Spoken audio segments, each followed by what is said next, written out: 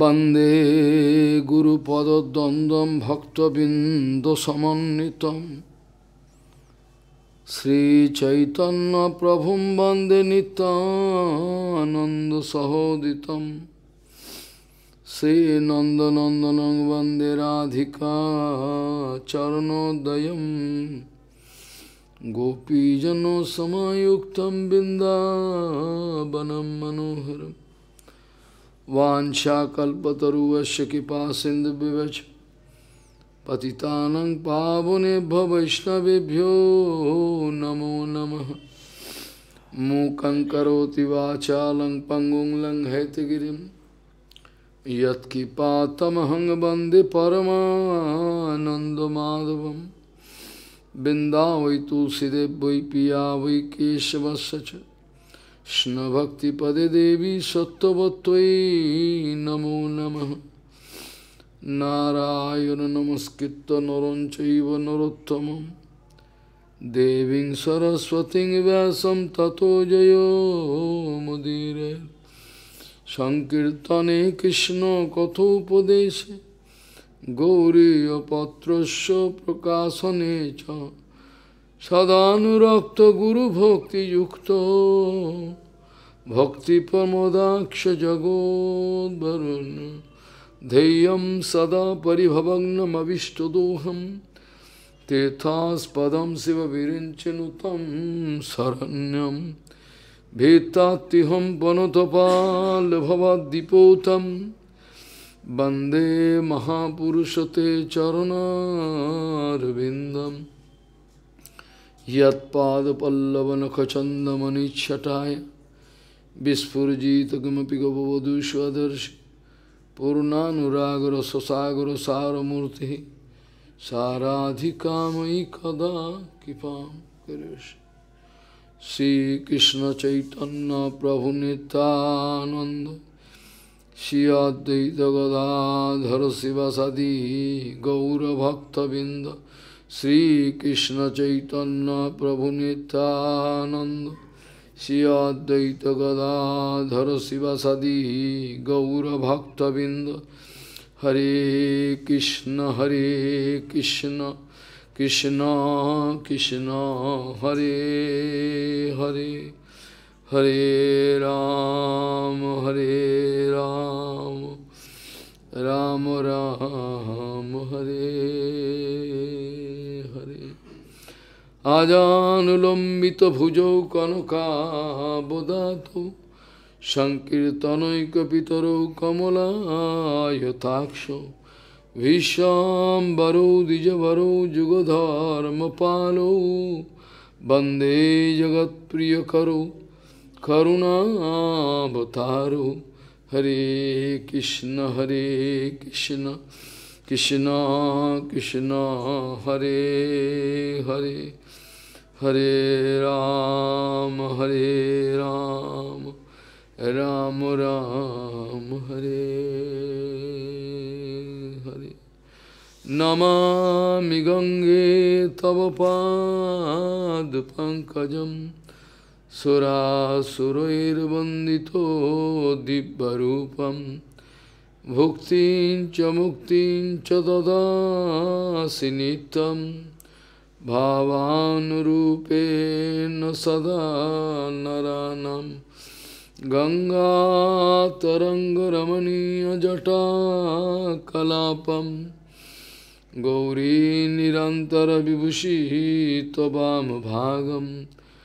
नारायणो प्रियमनङ्गमदापहारं वरानसिपुरपति भजवीशनाथम् वागीशजुष्वदने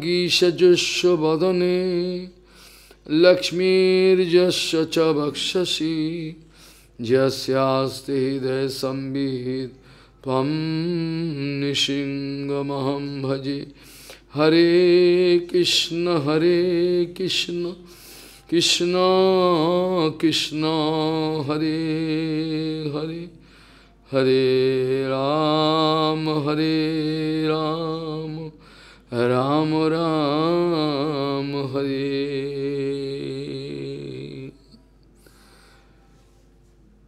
সদয় হৃদয় যশ বাচ সত্যভূষিত কায়ম পরহিত যশ কলিহিত করোতি কিম গৌরী গোষ্ঠীপতি শিশিল ভক্তি সিদ্ধান্ত সরস্বতী গোস্বামী ঠাকুর প্রভুভা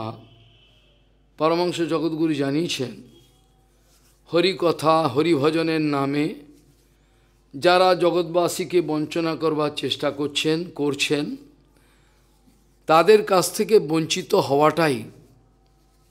একটা যুগধর্ম হয়ে দাঁড়িয়েছে এরা বঞ্চিত হতে চায় তাই জন্য বঞ্চিত হয় সদয়ম হৃদয়ম যশ বাচহ যশ সত্যভূষিতম কায় परहितम যশ কলিহি তস্য করোতি কিম যার সমগ্র জীবনটা জগতের মঙ্গলের জন্য সবসময় চিন্তা করেন জগতের কিভাবে মঙ্গল হবে যার বাক্য কোনোদিন মিথ্যকতা আশ্রয় করে না সত্যকে আশ্রয় করে থাকে যা শরীরটা উৎসর্গ করে দিয়েছি মরি বাঁচি কোনো যায় আসে না তাকে কলি কিছু করতে পারে না কলির ক্ষমতা নেই তার সঙ্গে কিছু করতে পারে কলি চেষ্টা করে কিন্তু পারে না কিছু করতে এটা স্বাস্থ্যের কথা সেই জন্য বলছেন পোপা জানাচ্ছেন গৌরীয় গোষ্ঠীপতি শিশিল ভক্তি সিদ্ধান্ত সরস্বতী গোস্বামী ঠাকুর বহুপাত জানাচ্ছেন যে হরি কথা হরি কীর্তনের নামে হরিভজনের নামে যারা জগৎবাসীকে বঞ্চনা করার চেষ্টা করছেন তাদের কাছ থেকে বঞ্চিত হওয়াটাই বর্তমানে একটা যুগধর্ম হয়ে দাঁড়িয়েছে এরা বঞ্চিত না হলে এদের ভালো লাগে না এরা বঞ্চিত হতে চায় তারই আর বঞ্চিত হয় সর্বাধিক প্রশ্ন আমার কাছে আসে যে আমি কি করে চিনব সাধুকে এই প্রশ্নটা সবচেয়ে বেশি হয় আমি কি করে চিনব যে বাস্তবিক সাধুকে কি করে বুঝব বাইরের বেশ দিকে তো সাধুকে বোঝা যায় না সম্ভব নয় প্রপাত প্রথমেই বলছেন তুমি আগে নিজের বিবেকের তুমি আগে নিজের বিবেকের কাছে প্রশ্ন করো তুমি আগে নিজের বিবেকের কাছে প্রশ্ন করো তুমি কি ভগবানকে চাও কি চাও না তারপর তুমি ওই প্রশ্নটা পরে করবে তুমি কি ভগবানকে চাও কি চাও না এটা প্রথম তুমি নিজের বিবেকের কাছে জিজ্ঞাসা করো যদি বল হ্যাঁ চাই তাহলে তোমার চিন্তা নেই এটা বলরামের দায়িত্ব আছে যেহেতু তুমি ভেতরে কোনো কপটতা রাখতে চাইছো না নেই তোমার কপটতা এবং তুমি চাইছো সত্যি আমার জীবনের মঙ্গল হোক যখন তুমি ভেতরে এরকম ধরনের একটা চিন্তা করে নিয়েছো সর্বাঙ্গীনভাবে এটা ফাসলা করে নিয়েছো সেক্ষেত্রে বলরামের দায়িত্ব রয়েছে নিত্যানন্দ বলরামের তিনি কি করে তোমাকে একজন বাস্তব সাধুর কাছে নিয়ে যাবেন কিভাবে তোমাকে একটা বাস্তব সাধুর কাছে নিয়ে সেটা তার দায়িত্ব যেহেতু বলরাম নিত্যানন্দ প্রতিজ্ঞা করে বলছেন বলরাম নিত্যানন্দ প্রতিজ্ঞা করে বলছেন আমার দায়িত্ব রইল অত বংসারাম তরণ দায় মহিলগেত আমার দায়িত্ব রইল তোমাদের সব দায়িত্ব আমার তোমরা চাও কি না বাকি আমি তোমাদের পার করে দেওয়ার দায়িত্ব আমি আছি কারণ গুরু বৈষ্ণব ছাড়া ভবনিধি পার হওয়া যায় না আজকেও বৃহৎ ভাগবত মিত্র ইংরেজিতে আলোচনা করছিলাম জ্ঞানত সুলভা মুক্তির ভুক্তির যজ্ঞাদি পুণ্যত শ্রেয়ম সাধন সহস্রের হরিভক্তি সুদুর্লভা জ্ঞানত সুলভা মুক্তির জ্ঞানের দ্বারা তোমার ম্যাক্সিমাম মুক্তি হতে পারে তাও সেই মুক্তির কোনো গ্যারেন্টি নেই তুমি কি ধরনের ব্যবস্থা করেছো তার উপর নির্ভর করে কোনো গ্যারেন্টি নেই জ্ঞানত সুলভা মুক্তির আর ভুক্তি কামনা বাসনা যদি তোমার থাকে বিভিন্ন ধরনের আশা আকাঙ্ক্ষা ইচ্ছে বিভিন্ন রকম আছে তোমার সেক্ষেত্রে তুমি যদি যোগ্য আদি করো বিভিন্ন যোগ্য যোগ্য বলতে খালি আগুনের যোগ্য বলছি না বিভিন্ন রকম অন্য অন্য যোগ্য দান যোগ্য হয় অন্য অন্য যোগ্য করে লোকে বিশেষ করে এই কর্মযজ্ঞের কথা বলা হচ্ছে বা যারা আগুনের উৎসর্গ করে যেসব যজ্ঞগুলো করে তাতে ভক্তি মুক্তি এইসব স্প্রিয়া জড়িত থাকে ভক্তিটাই বেশি মানে ওরা চায় ভোগ অনেকেই দান করেন কিন্তু দানের মধ্যে শুদ্ধতা নাই দান করেন একটা আশা রেখে সাধুকে এটা দেবো দিলে আমি এইগুলো পাবো এই বুদ্ধি নিয়ে তারা দান করেন ওই জন্য দামের ফলটা বাস্তবিক হয় না কিছু আর ভক্তি হতে গেলে একটাই রাস্তা খোলা আছে দ্বিতীয় কোনো রাস্তা খোলা নেই একটাই রাস্তা সেটা হচ্ছে সাধুসঙ্গ সাধুসঙ্গ সর্বশাস্ত্রে কয় লবমাত্র সাধুসঙ্গে সর্বসিদ্ধি হয় আর দ্বিতীয় কোনো রাস্তা খোলা নেই অন্য কোনো রাস্তা খোলা নেই এইটি একটাই রাস্তা লবমাত্র সাধু সঙ্গে সর্বসিদ্ধি সর্বসিদ্ধি মানে ভক্তিমন ঠাকুর বলছেন সর্বসিদ্ধি মানে হলো তোমার কৃষ্ণ প্রেম পর্যন্ত পেতে পারবে যেটা হচ্ছে এক্সট্রিম পয়েন্ট যেটাকেও আশাই করা মুশকিল ব্রহ্মা শঙ্কর সবাই আশা করে এটা খুবই সুদূর্ল কাজেই লবমাত্র সাধুসঙ্গ যদি বাস্তবিক হয় কপট সাধুসঙ্গে কোনো লাভ নেই বাস্তবিক অন্তর থেকে সাধু সঙ্গ বলতে আমি বলেছিলাম নিময় দদাতি প্রতিজ্ঞাদি পৃচ্ছতি গুহ্যমাখ গুহ্যমাখ্যাতি ভুংতে ভয়তে এটা হচ্ছে সর্বিধ প্রীতি লক্ষণ এই প্রীতির লক্ষণটা যদি সাধুর সঙ্গে বিনিময় হয়ে যায় বাই চান্স তাহলে জেনে রাখো আবার রাস্তা খুলে গেল আর এটা যদি জড়জগতের লোক তো সবসময়ই হচ্ছে জড়জগতের লোকের সঙ্গে ছেলে মেয়ে স্ত্রী আত্মীয় পরিজনের সঙ্গে তো সবসময় এটা হচ্ছে এটা তো সবসময় হচ্ছে এটা তো কোনো আর এটাতে কোনো মুক্তির বাইরে যাওয়ার কোনো রাস্তা নাই এটাতে বন্ধন হবেই হবে যেটা বারবার আমি বলেছিলাম সঙ্গজ সংসেতের হেতু হো আচ্ছা, সঙ্গজ সংসেতের হেতু হো অসস্য বিহিত ধিয়া স এব সাধুসু মোক্ষদারম অপাবৃতম এছাড়া আর কোনো অন্য কোনো রাস্তা নাই এই রাস্তাটি একটা খোলা আছে পোপা জানাচ্ছেন যারা নিজের জীবন যৌবন সমস্ত কিছু দিচ্ছেন জগতের মঙ্গলের জন্য কিন্তু জগৎবাসী তাদেরকেই ভুল বুঝবে গৌরকিশোর বাবাজি মহারাজ দুঃখের সঙ্গে বলছেন জগন্নাথ দাস বাবাজি মহারাজ বলছে বলছেন যারা তাদের সমস্ত জীবনটা এদের মঙ্গলের জন্য চেষ্টা করছে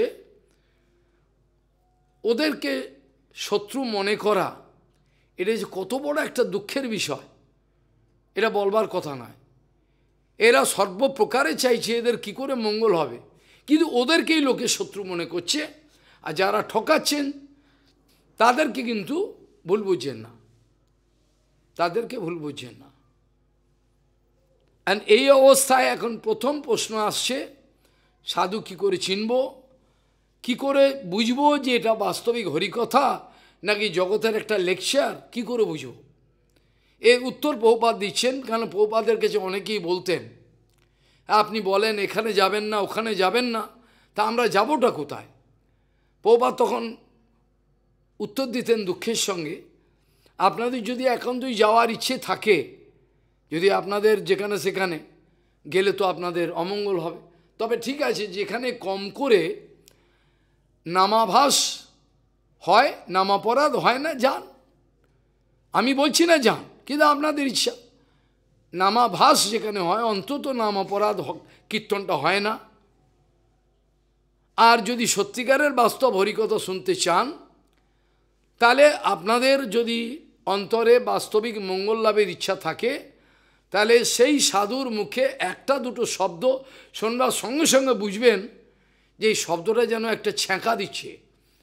মনে হচ্ছে একটা গরম মনে হচ্ছে আমার জীবনটাকে যেন শব্দগুলো শোনার সঙ্গে সঙ্গে মনে হচ্ছে আমার ভেতরে একটা ইভলিউশন হচ্ছে একটা রিভল্টিং মনে হচ্ছে এই কথাগুলো আমি শুনিনি কোনোদিন নতুন শুনছি কেউ কোনোদিন বলতে চায়নি তখনই জানবেন যখন ভেতরে একটা রিয়াকশন হচ্ছে একটা বিক্রিয়া হচ্ছে তখনই জানবেন এটা সত্যিকারের কিন্তু ভগবানের তিনি প্রতিনিধি এবং সেই কথাই তিনি বলতে চাইছেন without any addition on alteration একই কথা বলতে চাইছেন সাধু চেনার অনেক রাস্তা কিন্তু প্রথম রাস্তা হলো প্রথম কথা হলো যে আমি চাই কি না তাহলে সেক্ষেত্রে ভগবান তোমাকে ঘুরিয়ে ফিরিয়ে ঠিক এমন একটা জায়গায় তোমাকে এনে দেবে যেখান থেকে তোমার ঠকার কোনো আর রাস্তা থাকবে না কিন্তু প্রথমে তুমি নিজের কাছে প্রশ্ন করতে হবে তুমি চাও কি চাও না তা নাহলে তোমার অন্য কোনো কথা আসতে পারে না আর অনেক লক্ষণ সাধুর আছে অনেক লক্ষণ খ্যান্তির অব্যর্থ কালোত্তম বিরক্তির মানশূন্যতা আশাবন্ধ সমৎকণ্ঠা নাম গানে সদারুচিহি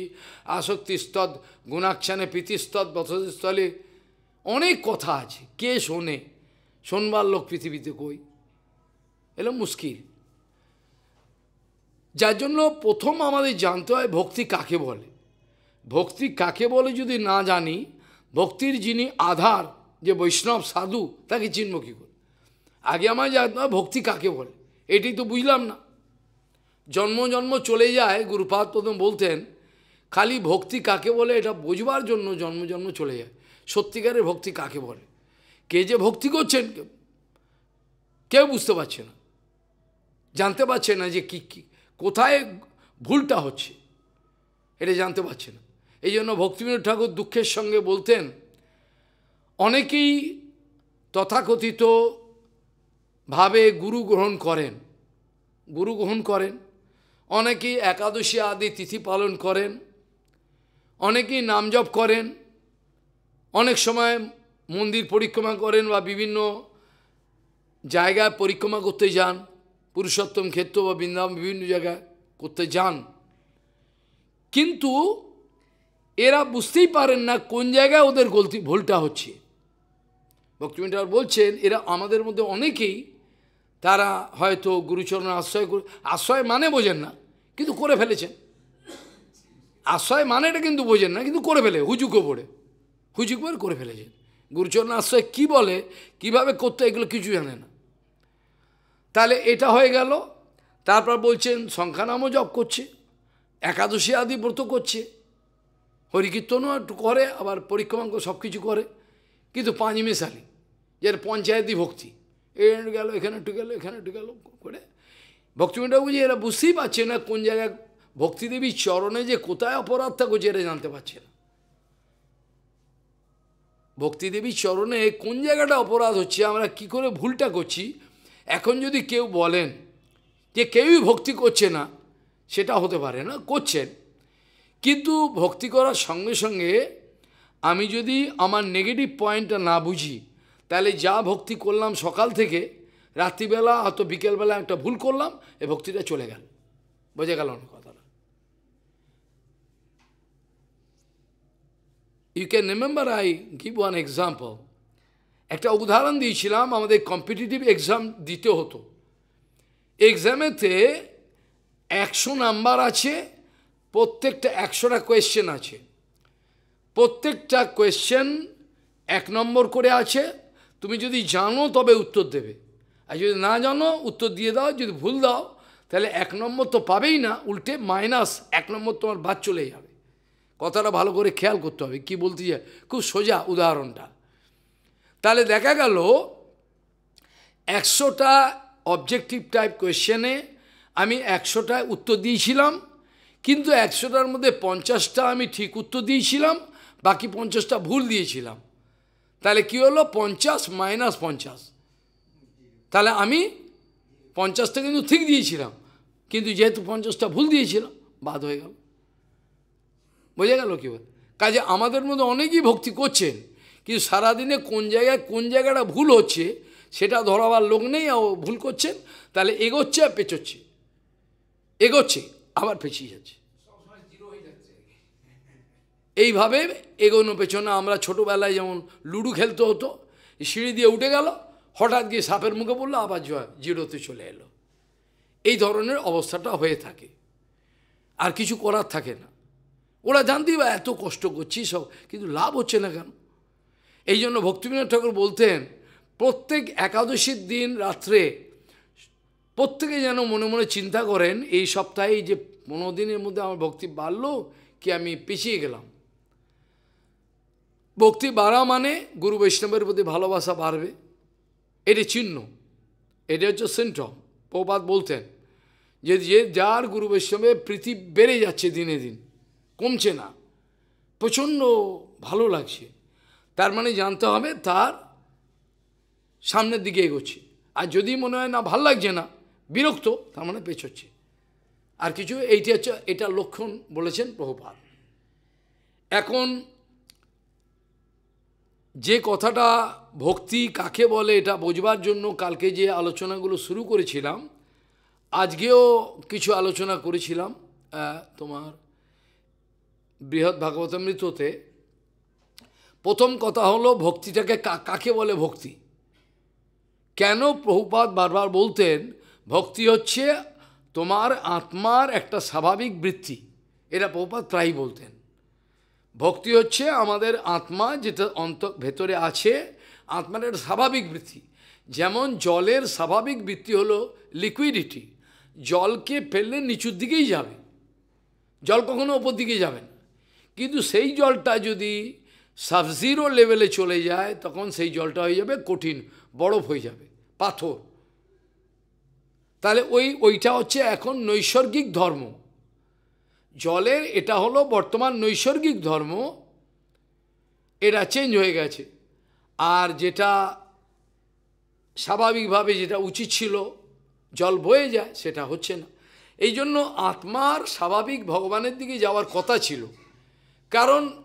আত্মা তো ভগবান থেকেই এসছে কোনো জায়গা থেকে তো আসেনি ভগবান থেকেই এসছেন সেই জন্য যাওয়ার কথা ছিল কিন্তু যাচ্ছে না তার কারণ হলো অনন্তকাল ধরে যেহেতু মায়ার সঙ্গ করছে একটা করে শরীর ধারণ করছে আর এই ভোগবিলাসে রয়েছে ওই জন্য প্রহ্লাদ মারা দুঃখ করে বলতেন ওই অসুর বালককে যে এই ভোগবিলাস যে কোনো জন্মে পাওয়া যায় যে কোনো জন্মে ভোগবিলাস পশুও ভোগবিলাস করে মানুষও করে কিন্তু হরিভজন সব জন্মে সব সব জন্মে হয় না মনুষ্য জন্মে হতে পারে এখন ভক্তিকে যদি স্বাভাবিক বৃত্তি বলা হয় তাহলে হচ্ছে না কেন তার কারণ হলো যেমন একটা লোহার খণ্ড লোহার খণ্ডটা একটা চুম্বকের সামনে থাকলে ছোট লোহার খণ্ড একটা চুম্বকের সামনে রাখলে চুম্বক লোহাটাকে আকর্ষণ করবেই করবে করবেই এটাই স্বাভাবিক চুম্বক লৌহ খণ্ডকে আকর্ষণ করবে কিন্তু করছে না কেন বিজ্ঞান যারা সামান্য পড়েছে অন্তত সেভেন এইট নাইন পর্যন্ত তারাও বুঝবে এটা যে চুম্বকটা তো লোহার কাজ লোহার লোহার লোহার আকর্ষণ হওয়ার কথা ছিল চুম্বক আকর্ষণ করবে মানে লোহাটা আকর্ষিত হওয়ার কথা ছিল চুম্বকের দ্বারা কিন্তু হচ্ছে না ভালো করে দেখা গেল এই লোহাটার ওপরেতে মোর্চা পড়েছে ফেরিক অক্সাইড ফেরিক অক্সাইডের একটা মোর্চা পড়েছে এই মোর্চাটা পড়বার জন্য এই যে ম্যাগনেটিক ফিল্ডটা এর মধ্যে যেতে পারছে না গিয়ে ওকে টানতে পারছে না অর্থাৎ লৌহ খণ্ডটা আর ম্যাগনেটের মধ্যিখানে একটা বাধা সৃষ্টি হয়েছে সেটাকে বলা হচ্ছে মরছে সম্পূর্ণ মরছে ধরে গেলে সেটা আর টানবে না ঠিক সেরকম আমাদের মধ্যে এবং ভগবানের মধ্যে কোনো কোনো ব্যবধান থাকা উচিত ছিল না কিন্তু আছে সেটা হচ্ছে মায়ার ব্যবধান এই মায়ার ব্যবধানটা এই মায়ার ব্যবধানটা একমাত্র গুরু বৈষ্ণবের কৃপা ছাড়া যায় না নিজে শত কোটি চেষ্টা করলেও যাবে না এই জন্য বলে ব্রহ্মাণ্ড ভ্রমিতে কোনো ভাগ্যবান জীব গুরুকৃষ্ণ প্রসাদে পায় ভক্তিলতা বীজ এটা গুরু বৈষ্ণবের কৃপা ছাড়া যাবে না ওর থাকবে এবার ভক্তির কথা ডেফিনেশন বলতে গিয়ে কালকে আলোচনা প্রসঙ্গে বলেছিলাম ক্লেশাগ্নি শুভদা মুখ্য লঘুতাকৃত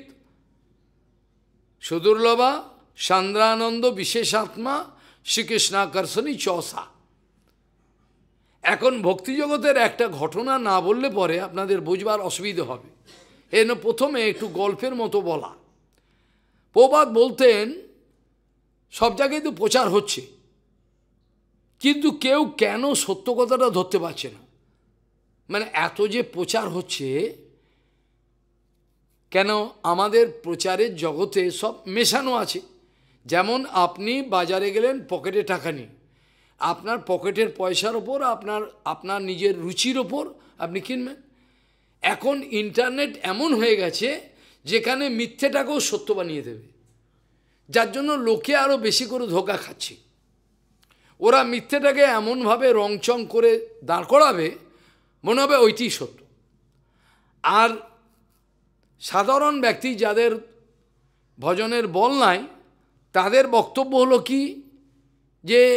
কি করে লাভটা কি নিজের মতো থাকো ভজন করো আর ভজনটা কাকে বলে এটা বুঝলো না আর আরেকটা কথা প্রপাত বলতেন সেটা হলো তুম্বিচু ভাম্বিচু এখন হচ্ছে সাধু জগতে এইটা হচ্ছে চলছে তুমি যদি আমার সম্বন্ধে কিছু বলো আমি তোমার সম্বন্ধে বলবো জেনে রেখো এখন প্রত্যেকেরই পেছনে একটা ভয় আছে যা যার দম আছে সে তো বলবে সেরমভাবে কথা বলবে এ প্রভুপাদও তো সবাই তো আর বহুপাত নয় আর গৌরকিশোর বাবা তাহলে এখন সে শক্তি কয় কেশব গোস্বামী মহারাজের মতো তারপরে তুমি চুপ হাম্বি চুপ এই নীতিতে সারা পৃথিবীতে প্রচার হচ্ছে তুমি চুপ হাম্বি তুমি কথা বলবে না আমিও কথা বলবো না তুমি যদি কথা বলো আমিও কথা বলবো তাহলে তুমি চুপ থাকো তোমার মাল নিয়ে তুমি চলে যাও আমার মাল নিয়ে আমি চলে যাই হয়ে গেল কাজ শেষ আর কোনো দরকার নেই আর একটা আমরা ছোটোবেলা একটা ছোটোবেলায় যখন ছিলাম সেই সময় একটা ইংরেজি একটা পোর্স পড়েছিলাম সেখানে এটা বিদেশি বিদেশি লেখক লিখেছিলেন তার নাম আর মনে পড়ছে না কিন্তু আর্টিকেলটার নাম মনে আছে আমার এটা হচ্ছে ওল্ড প্রোভার্বস মেড নিউ যখন আমি ছোট ছিলাম তখন এটা পড়েছিলাম আমাদের যে পূর্বের যে যে আমাদের যে কথোপকথন যেমন ধরুন নাচতে না জানলে উঠোন ব্যাকা হ্যাঁ না নানা রকম আছে না এরকম ধরনের কথাগুলো ওল প্রবার্ডস প্রবাদ মানে যে বাগধারা বললেই ভালো হয় বিশুদ্ধভাবে এইগুলোকে পূর্বের যা সেগুলোকে আবার নতুন করে করতে হবে এখন লেখক উত্তর দিচ্ছেন কেন নতুন করে করতে হবে পুরনো তো ভালোই ছিল বলছে না কেন আমি একটা বাংলাতে বলি ইংরেজিতে বললে অনেক সবাই বুঝতে পারবেন না অসুবিধা হবে এটা হচ্ছে কি যিনি কাঁচের ঘরে বাস করেন তিনি যেন কাউকে ঢিল না ছোড়েন ঢিল যদি ছোড়েন ও যদি তোমাকে ঢিল ছোড়ে তুমি কাঁচের ঘরে থাকো তোমার কাঁচের ঘরটা পুরো ভেঙে যাবে বোঝা গেল if you live in a room made of glass, you should not throw stone to others Because if they're going to throw thrones to you, you can break your glass room. But the writer speaking that that should be changed at present. বর্তমানে এটাকে পরিবর্তন করে কি করতে হবে যিনি কাঁচের ঘরে থাকেন তিনি বেশি করে ইট ছুড়বেন লোককে তিনি সবসময় ইট ছুড়বেন যাতে অপর লোক আর ইট ছোড়ার কোনো টাইম না পায় কথাটা মানে বোঝা গেল কথাটার অর্থ হলো যে সব ব্যক্তিগুলো জীবন ভুলে ভুল ভজন রাজ্যে অনেক কিছু ব্যাপার তারা কি করবে ইচ্ছে করে ইন্টারনেটে এই সমালোচনাগুলো দেবে গৌরী মঠের নামে নামে সময় ইচ্ছে করে দেবে এটা আজকে নয় আজকে প্রায় ষাট বছর আগে যখন ভারতবর্ষ মোবাইলের কথা চিন্তাই করতে পারতো না তখন ওদের দেশে ইন্টারনেট ছিল ওইখানে কি করেছি যত ইচ্ছা করে এইসব ঘটনাগুলো চাপিয়ে রেখেছে ষাট বছর আগে সত্তর বছর আগে ওখানে কি করেছে এইগুলোকে ইচ্ছা করে চাপিয়ে রেখেছে যাতে ভবিষ্যতে এ তো ছড়াবে ইন্টারনেট তখন লোকে জানবে ইচ্ছে করে এটা করে রেখেছে যেমন ব্রিটিশ পলিসি ব্রিটিশ কি করত ব্রিটিশ ইচ্ছে করে খাদ্যের অভাব তৈরি করে দিল যত চাল আছে গম আছে এগুলোকে নিয়ে গিয়ে কি করলো সমুদ্রে ফেলে দিল they artificial crisis it was British policy খাদ্যদ্রব্যের অভাব নেই ওরা ইচ্ছে করলো করলো টাইট দেবে একটু এই করে সব করলো ওরা যখন দেশ ছেড়ে যায় তার অনেক আগে দুশো বছর ধরে প্ল্যান করছে কি করে আমাদের তো যেতেই হবে ছাড়বে না এমন যখন যাব তখন এমন কিছু করে দিয়ে যাব যেন সবসময় এদের মধ্যে মারামারি লেগেই থাকে হিন্দু মুসলিম মসজিদের মধ্যে কিছু হিন্দুদের কিছু লাগিয়ে দিল আবার মন্দিরের মধ্যে একটু এদিকে সব দুজনের মধ্যে কাটাকাটি হবে ওরা চিরকাল করবে এ থামবে না এ এমনই একটা কলকাঠি নেড়ে গেছে যেটা থামবার কোনো কথাই নেই যেটা রাম মন্দির আর বাবরি মসজিদে হলো এ তো এ তো চলতো ভগবানের কি যে আমাদের একটা বিরাট সাধু কেস চলছে সে চোখে দেখতে পান না তার সব মুখস্থ বেদের ম্যাজিস্ট্রের কাছে বলছেন সব সবার কাছে বলে আপনি কি করে জানলেন বলে দেখুন অমুক বেদের অমুক রিক ওটা খুলুন দেখে ওখানে লেখা আছে মন্ত্র লেখা আছে রামচন্দ্রের জন্মভূমি এটা আশ্চর্য ব্যাপার সে চোখে দেখে না তাকে বেনারস হিন্দু ইউনিভার্সিটি অখণ্ডানন্দ ইউনিভার্সিটি বলেছিলেন আপনি আমাদের কাছে আপনি যদি প্রফেসর হিসেবে থাকেন তাহলে আপনাকে আমরা দেড় লক্ষ টাকা মায়না দেবো দেড় দু লক্ষ টাকা উনি বলছেন আমি সাধু হয়েছি আমি তো দু লক্ষ টাকা কামাবার জন্য হয়নি কি করে ওর মনে রাখে সব সব মনে আছে সব বলে যাচ্ছেন তারপরে এটা উদ্ধার হলো তা নালে আমাদের মধ্যে এমন কেউ ছিল না যে গিয়ে এবার ওদের সঙ্গে এ করে সে লড়ে চলবে তো এটা ভক্তি হলো কি না আমার আপনাদের কাছে প্রশ্ন এই যে রামের যে বাস্তবিক জন্মস্থানটা এটা যে উদ্ধার এটা কি কোনো খারাপ হলো নাকি কেন উল্টো হলো কি হলো হ্যাঁ ভালো হলো কারণ ভগবানের জন্মস্থান রাম আমাদের কৃষ্ণের জন্মস্থান নিয়ে এরকম পাকিয়ে রেখেছে সব জায়গায় এমন একটা ঘটনা হয়ে ভক্তিরাজ্যও তাই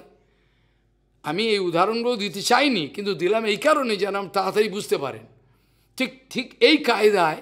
আমাদের ভজন রাজ্যে গত ষাট বছর ধরে সত্য এমন কায়দা করে রাখছে এটা ধীরে ধীরে ধরা পড়ছে এবং এবার আমাদের জবাব না দিলে আমাদের সব নিশ্চিন্ন হয়ে যাবে ষাট বছর তো প্ল্যান করে রেখেছে এইভাবে করো স্লো পয়জন আস্তে আস্তে করতে করতে এদের সব শেষ হয়ে যাবে তো এটা তো আমরা হতেই দিতে পারি না বংশ পরম্পরায় সবাই ভুল কথা জানবে এটা তো হতে পারে না কাজেই কাঁচের ঘরে যিনি থাকেন তিনি বেশি করে ঢিল ছুটবে তার মানে যার নিজের দুর্বলতা আছে তিনি অপরকে বেশি করে যাতে অপর লোক সুযোগ এটা বর্তমানে এখন অবস্থাটা দাঁড়িয়েছে এটা এটা বহুপাত বলছেন চোর বলে ওই চোর পড়েছেন না চরেন না চোর বলে ওই চোর মানে ঘটনাটা শোনো প্রবাদ কি বলছেন চুরি করে একজন পালাচ্ছে দারোগা একটা সাধারণ লোকও দেখতে পেয়েছে দেখে বিয়ে দ্বারকাটাকে এবার ধরবে চেঁচাচ্ছে বুঝতে পারছো দ্বারকায় আবার কাপড় চোপড়গুলো ফেলে দিয়ে সাধারণ বেশি ও চোর চোর ও সব গ্রামের লোক দৌড়াচ্ছে চোর ও এবার চোর চোর বলতেই ধরবে লোকের মধ্যে এও বোধ চোর খুঁজছে বোধ আমাদের মতো এ বোধহয় আমাদের সে ওই কিন্তু চোর চোর বলে ওই চোর প্রপাত বলছেন প্রপাত বলছেন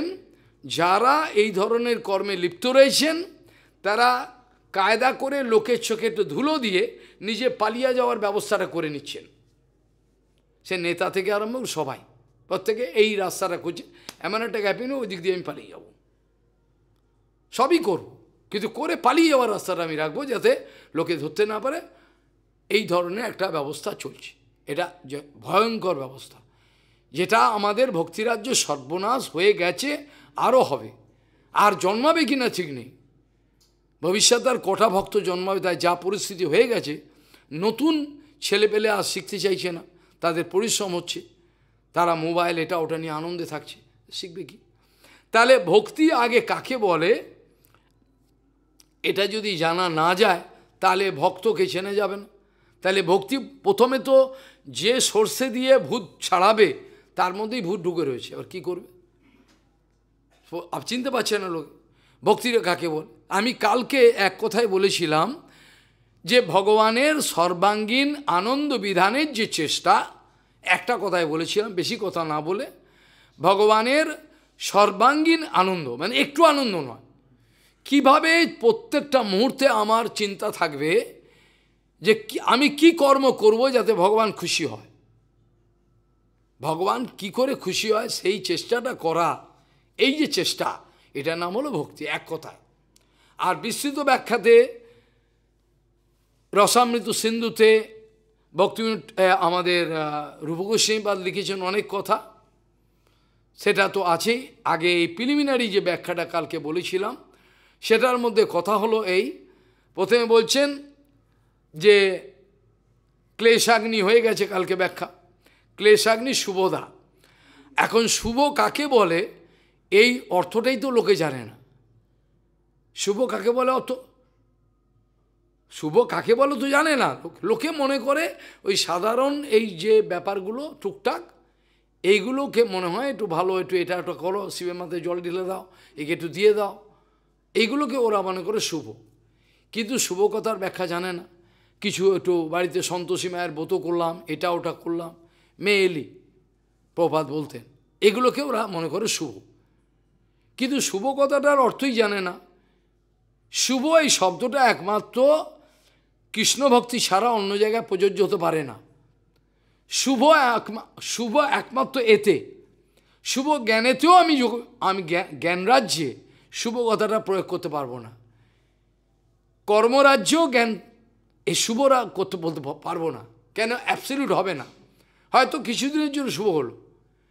মানে আজকে যে কর্মটা করা হলো সেটা কালকে দেখা গেল উল্টো উল্টো বোঝা গেল না আজকে যেটা লোকে করে গেল কালকে দেখা গেল এর হচ্ছে না এটা ফেলে দিতে হবে কিন্তু ভক্তিরাজ্যের কথাটা তা নয় এখানে কোনো অ্যামেন্ডমেন্ট বা রেক্টিফিকেশন এগুলো চলে না ভক্তিরাজ্যে এগুলো চলে না যেটা বলা আছে সেটি ঠিক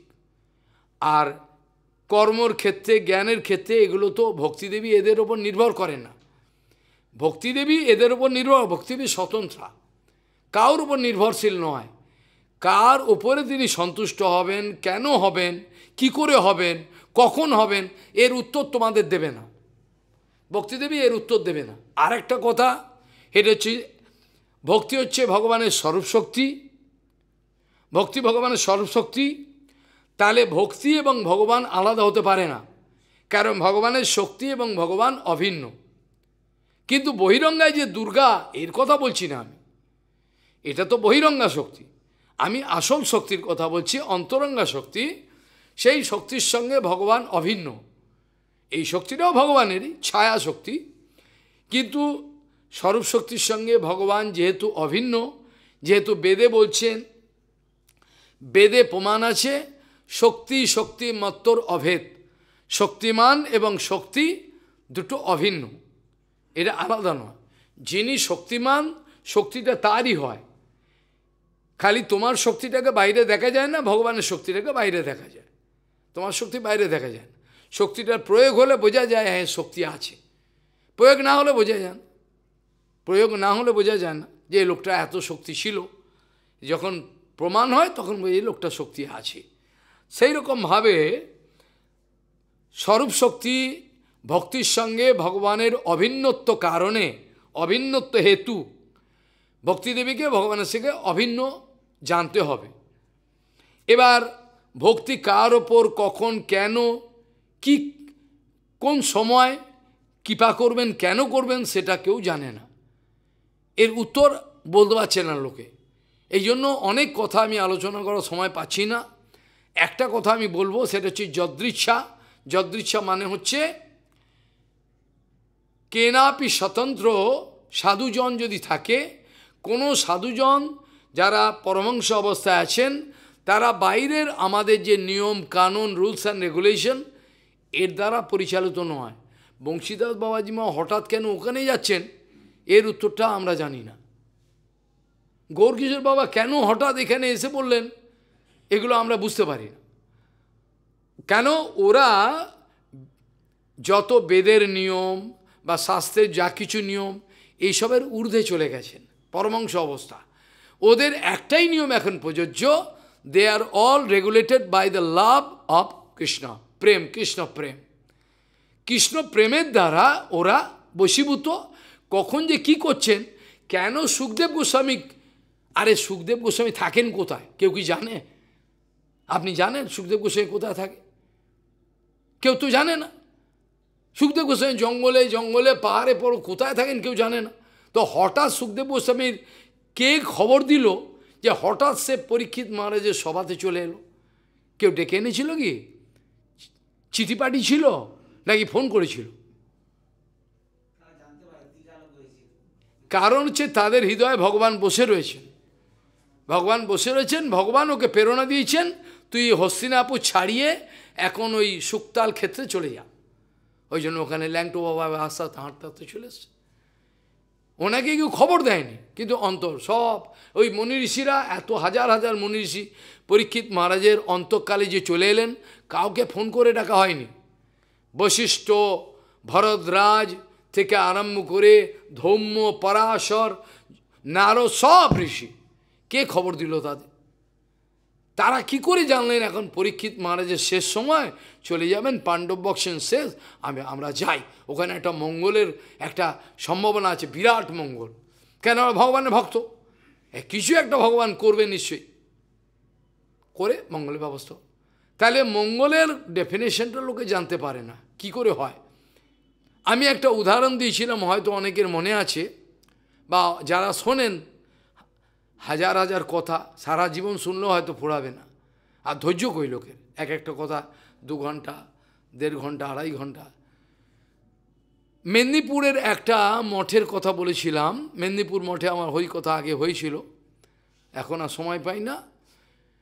মেদিনীপুর মঠেতে একটা ছেলে আসতো তার বয়স হচ্ছে ২২ বছর কুড়ি বছর সে ছেলেটা আসতো মহারাজদের খুব ভালোবাসত রোজ তার কাজ ছিল ভোরবেলা উঠে জল দিয়ে মন্দির আমি শুধু মেদিনাপুর মঠের কথা বলছি না আমি কৃষ্ণনগর মঠে যখন বৃন্দাবন থেকে আসতাম দামোদর মহারাজের সঙ্গে থাকতাম কৃষ্ণনগর মঠে কেন উনি ভালোবাসতেন কয়েকদিন থাকতাম একটা ছেলে রোজ সকালবেলা সাড়ে চারটে চারটে আসবে আরতি দেখবে আরতি দেখা হয়ে গেল আরতি বন্ধ হয়ে গেল আরতি বন্ধ হওয়ার পরেতে কি করতো এবার সে এবার সে কি করতো এবার মন্দিরটাকে জল দিয়ে ওকে কিন্তু কেউ বলে না ও নিজেই মন্দির পরিষ্কার করে সব করে তা বাড়ি যাবে টিউশনি করে চলে চাকরি পায়নি ঠিক এই ছেলেটাও সেরকম সে চাকরি পায় না টিউশনি করে চলে হঠাৎ কি হলো সে তার মা বিধবা মা এখন তার কোনো চাকরি বাকরি নেই টিউশনি করে চলে এটা বাঁকুড়াতেও একটা ছেলেকে পেয়েছিলাম ভালো ছেলে অত্যন্ত সব সর্বনাশ হয়ে গেল অসৎসঙ্গ করে সব শেষ সে কি হলো এবার তার কাকা বলল ওকে কিছু টাকা দেবো পানের বড়জ কর তো তো সামান্য জমিটা আছে ওদের পানের চাষ কর অনেক টাকা পাবি ও কী করলো কিছু টাকা দিল তাকে অনেক মোটা টাকা টাকা দিয়ে পানের চাষ করতে আরম্ভ করলো পান বিক্রি করে লালে লাল এবার তার পয়সা বেড়ে গেল প্রচুর পয়সা আর পয়সা পাওয়ার সঙ্গে মা বলছে এবার বিয়ে কর খোকা আমি তাহলে কী কর আমি একা হাত পুড়িয়ে খাওয়াতে পারবো না সে করতে চায় না সে জোর করে বলে পয়সা তাহলে এবার মঠে আসা কমে গেল মঠ তো পরিষ্কার দূরের কথা মঠে এখন সপ্তাহে একদিন আসতে পারে না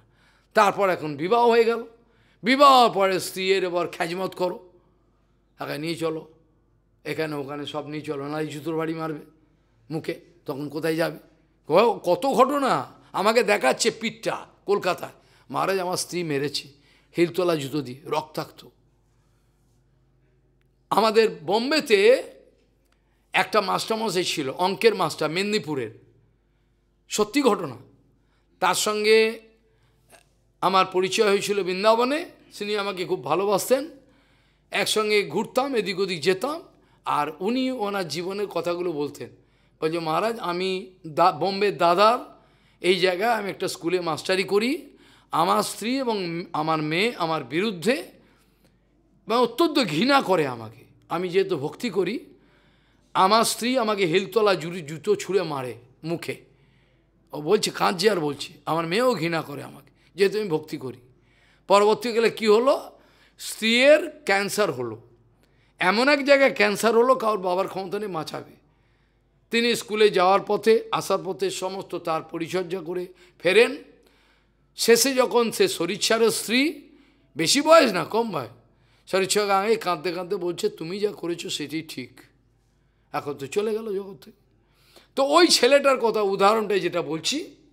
সেই ছেলেটা কি করলো এবার পানের বড় এবার এবার সে বিয়ে করলো বিয়ে করে আর সময় হয় না মহারাজ বলে এখন তুমি মোটে আসো না কেন কী ব্যাপার মহারাজ সময় পাই না তারপর কদিন পর একটা ছেলে হলো আরও সময় নেই তাহলে আমার প্রশ্ন হলো সে কি মঙ্গলের রাস্তায় গেল কাকা যে তাকে টাকাটা দিল তাকে কুড়ি হাজার দিক বা তিরিশ হাজার সমাজের লোক তো বলবে ও কাকা উপকার করেছে কি বলেন মশাই আপনি কি বলেন এসব সমাজের লোক তো বলবে হ্যাঁ, উপকার করলো না কাকা হ্যাঁ উপকার করেছি উপকার করেছি তো তাই তো সে আজকে ছিন্ন বিচ্ছিন্ন হয়ে গেল ভগবানের রাস্তা থেকে এই জন্য এই জন্য আমাদের কৃষ্ণদাস কবিরাজ গোস্বামী চৈতন্য চৈতন্যদের লিখেছেন স্বরূপ গোসাই ভূয়াদ দয়া আমাদের চৈতন্য মহাপ্রভু এবং তার ভক্তগণ যে কৃপাটা করেন সেই কৃপা থেকে কোনোদিন অমঙ্গল আসে না যেমন ওই ছেলেটার কাকা কৃপা করলো ওর থেকে অমঙ্গল চলে এল মানে সে মঙ্গলের রাস্তা থেকে চলে গেল কিন্তু গৌরাঙ্গ মহাপ্রভুর যারা বাস্তবিক ভক্ত তাদের যদি কোনো দিন বাস্তবিক কে কৃপা পায় সত্যি একাঙ্ক্ষী থাকে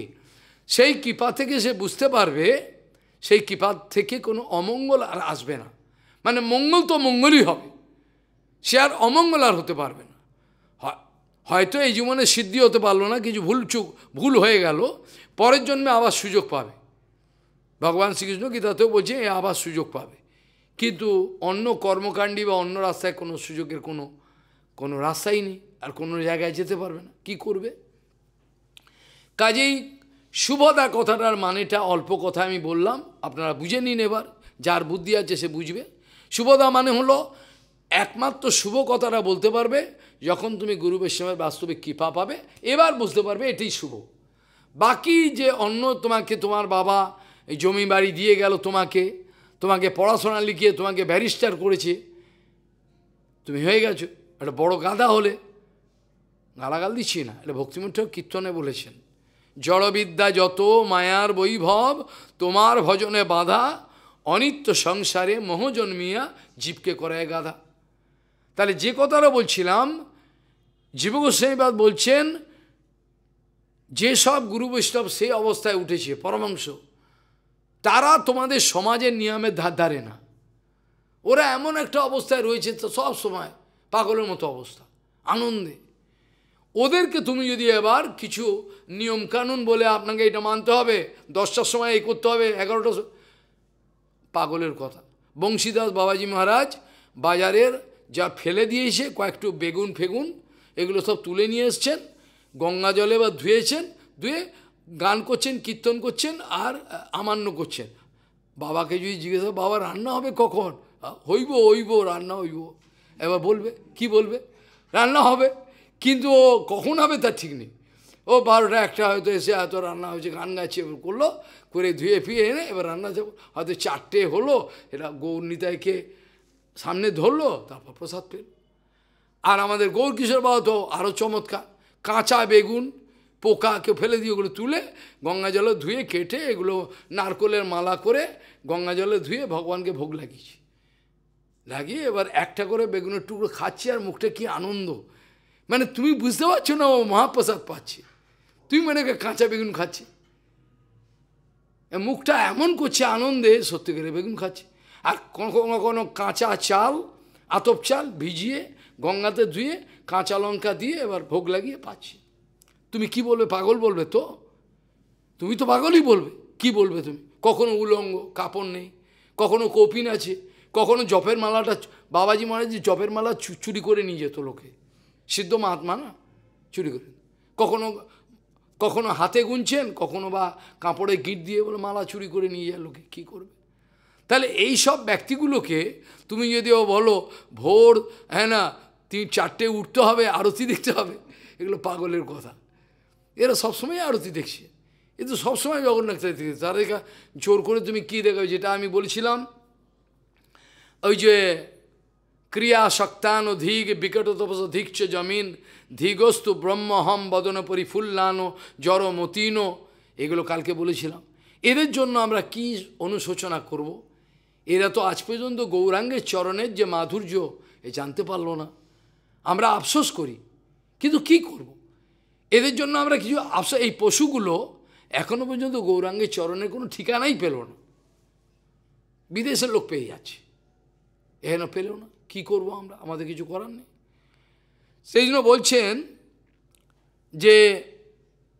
তাবৎ ব্রহ্মকথা মুক্তি পদবী তাবৎ না তিক্তি ভাবেত তা এই কথাটা না বললে পরে আপনি এটা মানে বুঝবেন না এই জন্য শ্লোকটা বলতে হচ্ছে বাইরে তাবৎ ব্রহ্মকথা মুক্তিপদবী তাবদ নতিক্তি ভাবেত চাপে বিশৃঙ্খলতময়তে ন লোক বেদ স্থিতি তাবৎ মিত এন কলকল নানা বহির্বাত্মসু শ্রী চৈতন্য প্রিয়জন যাবৎ ন দিগ্গচর তাবৎ শাস্ত্রবিদাম তাবৎ শাস্ত্রবিদাম মিত কলকল তাবৎ শাস্ত্রবিদাম মিথহ কলকল নানা বহির্বাত্মসু শ্রী চৈতন্য প্রিয়জন যাবৎ ন দিগ্গোচরা যতদিন চোখ যতদিন চৈতন্য মহাপ্রভুর এক ভক্তের সঙ্গে তোমার দেখা হয়নি ততক্ষণ পর্যন্ত তোমার ব্রহ্মকথা ভাল লাগে আহ ভালো তো ব্রহ্মকথা তাবৎ ব্রহ্মকথা মুক্তি মুক্তি আহ মুক্তি খুব ভালো ততক্ষণ পর্যন্ত লাগবে ততক্ষণ পর্যন্ত তোমার সমাজের বৈদিক নিয়ম আদি এগুলো তোমার ভালো মনে হবে কিন্তু যখন তুমি সেই প্রেম পেয়ে যাবে ভগবানের তখন এগুলো দুধ দু ছ্যাঁ ছ্যাঁ এগুলো তোমার ভজনে বাধা এখন বংশীদাস বাবাজ মহাজকে দুধাস্তের নিয়ম দিয়ে বেঁধে রাখলে কি ও তো ভজন করছে এটা তো হয় না এখন বৃন্দাবনের গোপীগণকে যদি কেউ বেঁধে রাখে তো হবে না ও তো বন্যার মতো চলে যাচ্ছে কৃষ্ণের কাছে ওরা তো মেয়ে ছেলে নয় যে বৃন্দাবনের ধুলিকণাটা পর্যন্ত চিন্ময় যে বৃন্দাবনের ধুলিকণাটা পর্যন্ত চিন্ময় সেখানে মেয়ে ছেলে কোথা থেকে আসবে এই গাধাগুলো এটি বোঝে না যেখানে একটা একটা ধুলিকণা চিন্ময় কথা বলতে পারে আমার সঙ্গে আমার থেকে অনেক উন্নত ধুলিকণা গাছপালা সব কিছু তো সেখানে কোনো মেয়ে ছেলে করতে গেল এ তো বোঝে না এরা যে কৃষ্ণের সঙ্গে এসব নোংরা ভাষা এটা পশুগুলো আমার সামনে বলে না বললে তো আমি জবাব দিয়ে দেবো তো এই তো অবস্থা তাহলে বিশৃঙ্খলতময়তে ন বেদ স্থিতি লৌকিক নিয়ম এবং বৈদিক নিয়ম লৌকিক নিয়ম এবং বৈদিক নিয়ম এক পরমাংশ সাধুর কাছে বিরক্তিজনক এ শৃঙ্খলায় কি এসব তোমাকে এবার চিন্তা করতে হবে তুমি বিধিমার্গে সব বিচার তো ওরা তো ওই অবস্থায় রয়েছে ওদেরকে তুমি কি কি করে শাসন করবে ও শাসনের যোগ্য ওরা ওরা কি শাসনের যোগ্য কিন্তু ওরা শাসন করছে যা তা বলছে আমাদের মেনে নিতে হবে যেটা কালকে আমি বলেছিলাম যে পরমাংশ গুরুদেবের গুরু বৈষ্ণবের আজ্ঞা পালন করবার জন্য যদি আমাকে অনন্তকালের জন্য নরক যেতে কন্ট্যাক্ট করে আমি তাও রাজি আছি এইগুলো যে কত বড় কথা এটা যে কোন রাজ্যের কথা এই বুদ্ধি নিয়ে এগুলো বোঝা যায় না এই জড় বুদ্ধি নিয়ে এই মানেগুলো বোঝা যাবে না এই যে কোন রাজ্যের এগুলো কথা যাই হোক তাহলে শুভতা তার মানে এবার বোঝা গেল শুভ একমাত্র দিতে পারে গুরু বৈষ্ণব আর কেউ দিতে পারে না তাহলে ক্লেশাগ্নি শুভদা মুখ্য লঘুতাকৃত তুমি যদি মুখ্য চা মুখ্য মানে আত্যান্তিক দুঃখের নিবৃত্তি আরে অত্যান্তিক আত্যান্তিক দুঃখের নিবৃত্তি করে তুমি কি চাও বোকা লোকগুলোকে জিজ্ঞাসা করে তোমার কষ্ট হচ্ছে ঠিক আছে ভালো কিন্তু দুঃখটাকে তুমি নিবৃত্তি করতে চাই চিরকালের জন্য আর কোনো দিন জানো না লোকে এই জন্য আত্মহত্যা করে তারা মনে করে আত্মহত্যা করলে বা আমার সুবিধা হয়ে যাবে বড় দুঃখের কথা আত্মহত্যা করলে তো আরও সবচেয়ে বড় পাপ এবং তুমি তো এবার এখনও পর্যন্ত এমন জীবাত্মা আছে দু হাজার বছর আগে আত্মহত্যা করেছে এখনও কোনো সাধু পায়নি তার কপালে জোটেনি দু হাজার বছর আগেকার তুমি দেখতে চাও আমি নিয়ে যাব রাজস্থানে একটা জায়গা আছে সেখানে হনুমানের মন্দির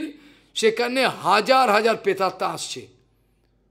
কি করে লোকের ক্ষতি করে ওখানে হনুমানের ভোগ লাগিয়ে ওদেরকে দিয়ে দেয় আর ওই পেতাত্মা যেগুলো খায় ওগুলোকে নিয়ে এসে ইচ্ছে করে লোককে খাইয়ে দেয় আর লোক মানে পুরো পাগল কত অনিষ্ট করছে লোকে সাধুরাজ যে কত অমঙ্গল হচ্ছে কি করে কাকে মেরে ফেলবে ওর নাম হয়ে যাচ্ছে ও বিরাট নাম করা ওকে মেরে ভালো তাড়াতাড়ি দয়ের সঙ্গে দয়ের সঙ্গে কি খাইয়ে দিয়েছে মারকারি পারদ খাইয়ে দিয়েছে দয়ের সঙ্গে মরে গেল এই মনটি হয়েছে মারতে পারেনি এই তো অবস্থা এই তো অবস্থা চলছে এখন কি করে তোমরা বাঁচবে আমি তা বুঝতে পারি না কি করে দেখো এবার আর যে গ্রামে গেছিলাম গ্রাম তো নয় ওটা গ্রাম বলা যায় না ঠিক তাই হোক গ্রামই বলবো সেখানে দশটা পনেরোটা গ্রাম পুরো ভেঙে পড়েছে দশটা পনেরোটা গ্রাম ভেঙে পড়েছে খালি আমাকে দেখবে এত ভালোবাসে সব বুড়ো বাচ্চা যুবত সব দৌড়াচ্ছে রাস্তায় ঘন্টা কাশো নিয়ে বাবা এসছে আর যেগুলো হিংসা করেছে দুই একজন তাদের গায়ে লেগে গেছে বাকি সবার আনন্দ তারা বুঝতে পারল হ্যাঁ, আমরা সত্যি কথা একটা শুনলাম এগুলো বাকি ওদের গায়ে লেগেছে যাদের পুরো পর্দাটা ফাঁস হয়ে গেল এছাড়া সবাই আনন্দ ওতে জিজ্ঞেস করুন তো কী আনন্দ হাজার হাজার মানে দৌড়াচ্ছে পেছনে পেছনে আমি বললাম তোমাদের এই ভালোবাসাটা আমি শোধ দিতে পারবো না আমি ঋণ হয়ে গেলাম তোমরা যে ভালোবাসাটা দেখালে স্নেহ দেখালে আমি হরিকত তো মালা নিইনি আমি বললাম মালা দরকার মালা রেখে দে তোরা পড়বি পরে আর হরিকত শোন সময় চলে যায় যাই হোক তাহলে শুভ আমি যদি সেখানে আমাকে নিয়ে গেছে এত কষ্ট করে আপনি গেলে পাগল হয়ে যেতেন দেখলে যে লোকের কীরকম উৎসাহ আফসোসের কথা আসল জায়গাতে ভূত ঢুকে রয়েছে এ লোকগুলো বাঁচানো যায় এরা সরল এরা ভালো লোক গ্রামের লোক ভালো লোক শিক্ষিত লোকও অনেক আছে কিন্তু এদেরকে ভুল পথে নিয়ে যাচ্ছে লোকে এখন আমি যদি বাধা দিই এবার মানে আমি সত্য হয়ে গেলাম তোমরা কেন এনে এদেরকে ভুল পথে এটা বললেই বেশ আমি আর কিছু কথা নেই তাহলে শুভদা মানে হলো একমাত্র গুরু বৈষ্ণবের সঙ্গে শুভদা শুভদা মানে শুভদা শুভ দিতে পারে একমাত্র শুভ বিবাহ শুভ আদি এগুলো সব শুভ এগুলো বলে লোকে কিন্তু বেশিরভাগই অমঙ্গলই প্রসব করে কিছু তো আর দেখা যায় না আর কেশব গোস্বামী মহারাজের মতো ব্যক্তির সঙ্গে পেরে ওঠা খুব মুশকিল এই জন্য প্রবাদ বলতেন কৃষ্ণভক্ত হলে শয়তানের শয়তান এ কথাটার মানে কি যারা শয়তানি করে তাদেরকে একেবারে চুপ করিয়ে দেওয়ার হচ্ছে ওরাই ক্ষমতা কৃষ্ণভক্ত শয়তানের শয়তান সাধারণ লোকের শয়তান না যারা শয়তান তাদের জন্য শয়তান যাই জন্য ঐক্য কোর্টে বলছেন যে কোর্টের কেস হয়ে গেল বলছে আপনি সাধু হয়ে আপনি আচার্য গালাগাল দিয়েছে সাদা পড়েছেন আমি সালা তো বলিনি না বলে ওরা বলছে বলেছেন আপনি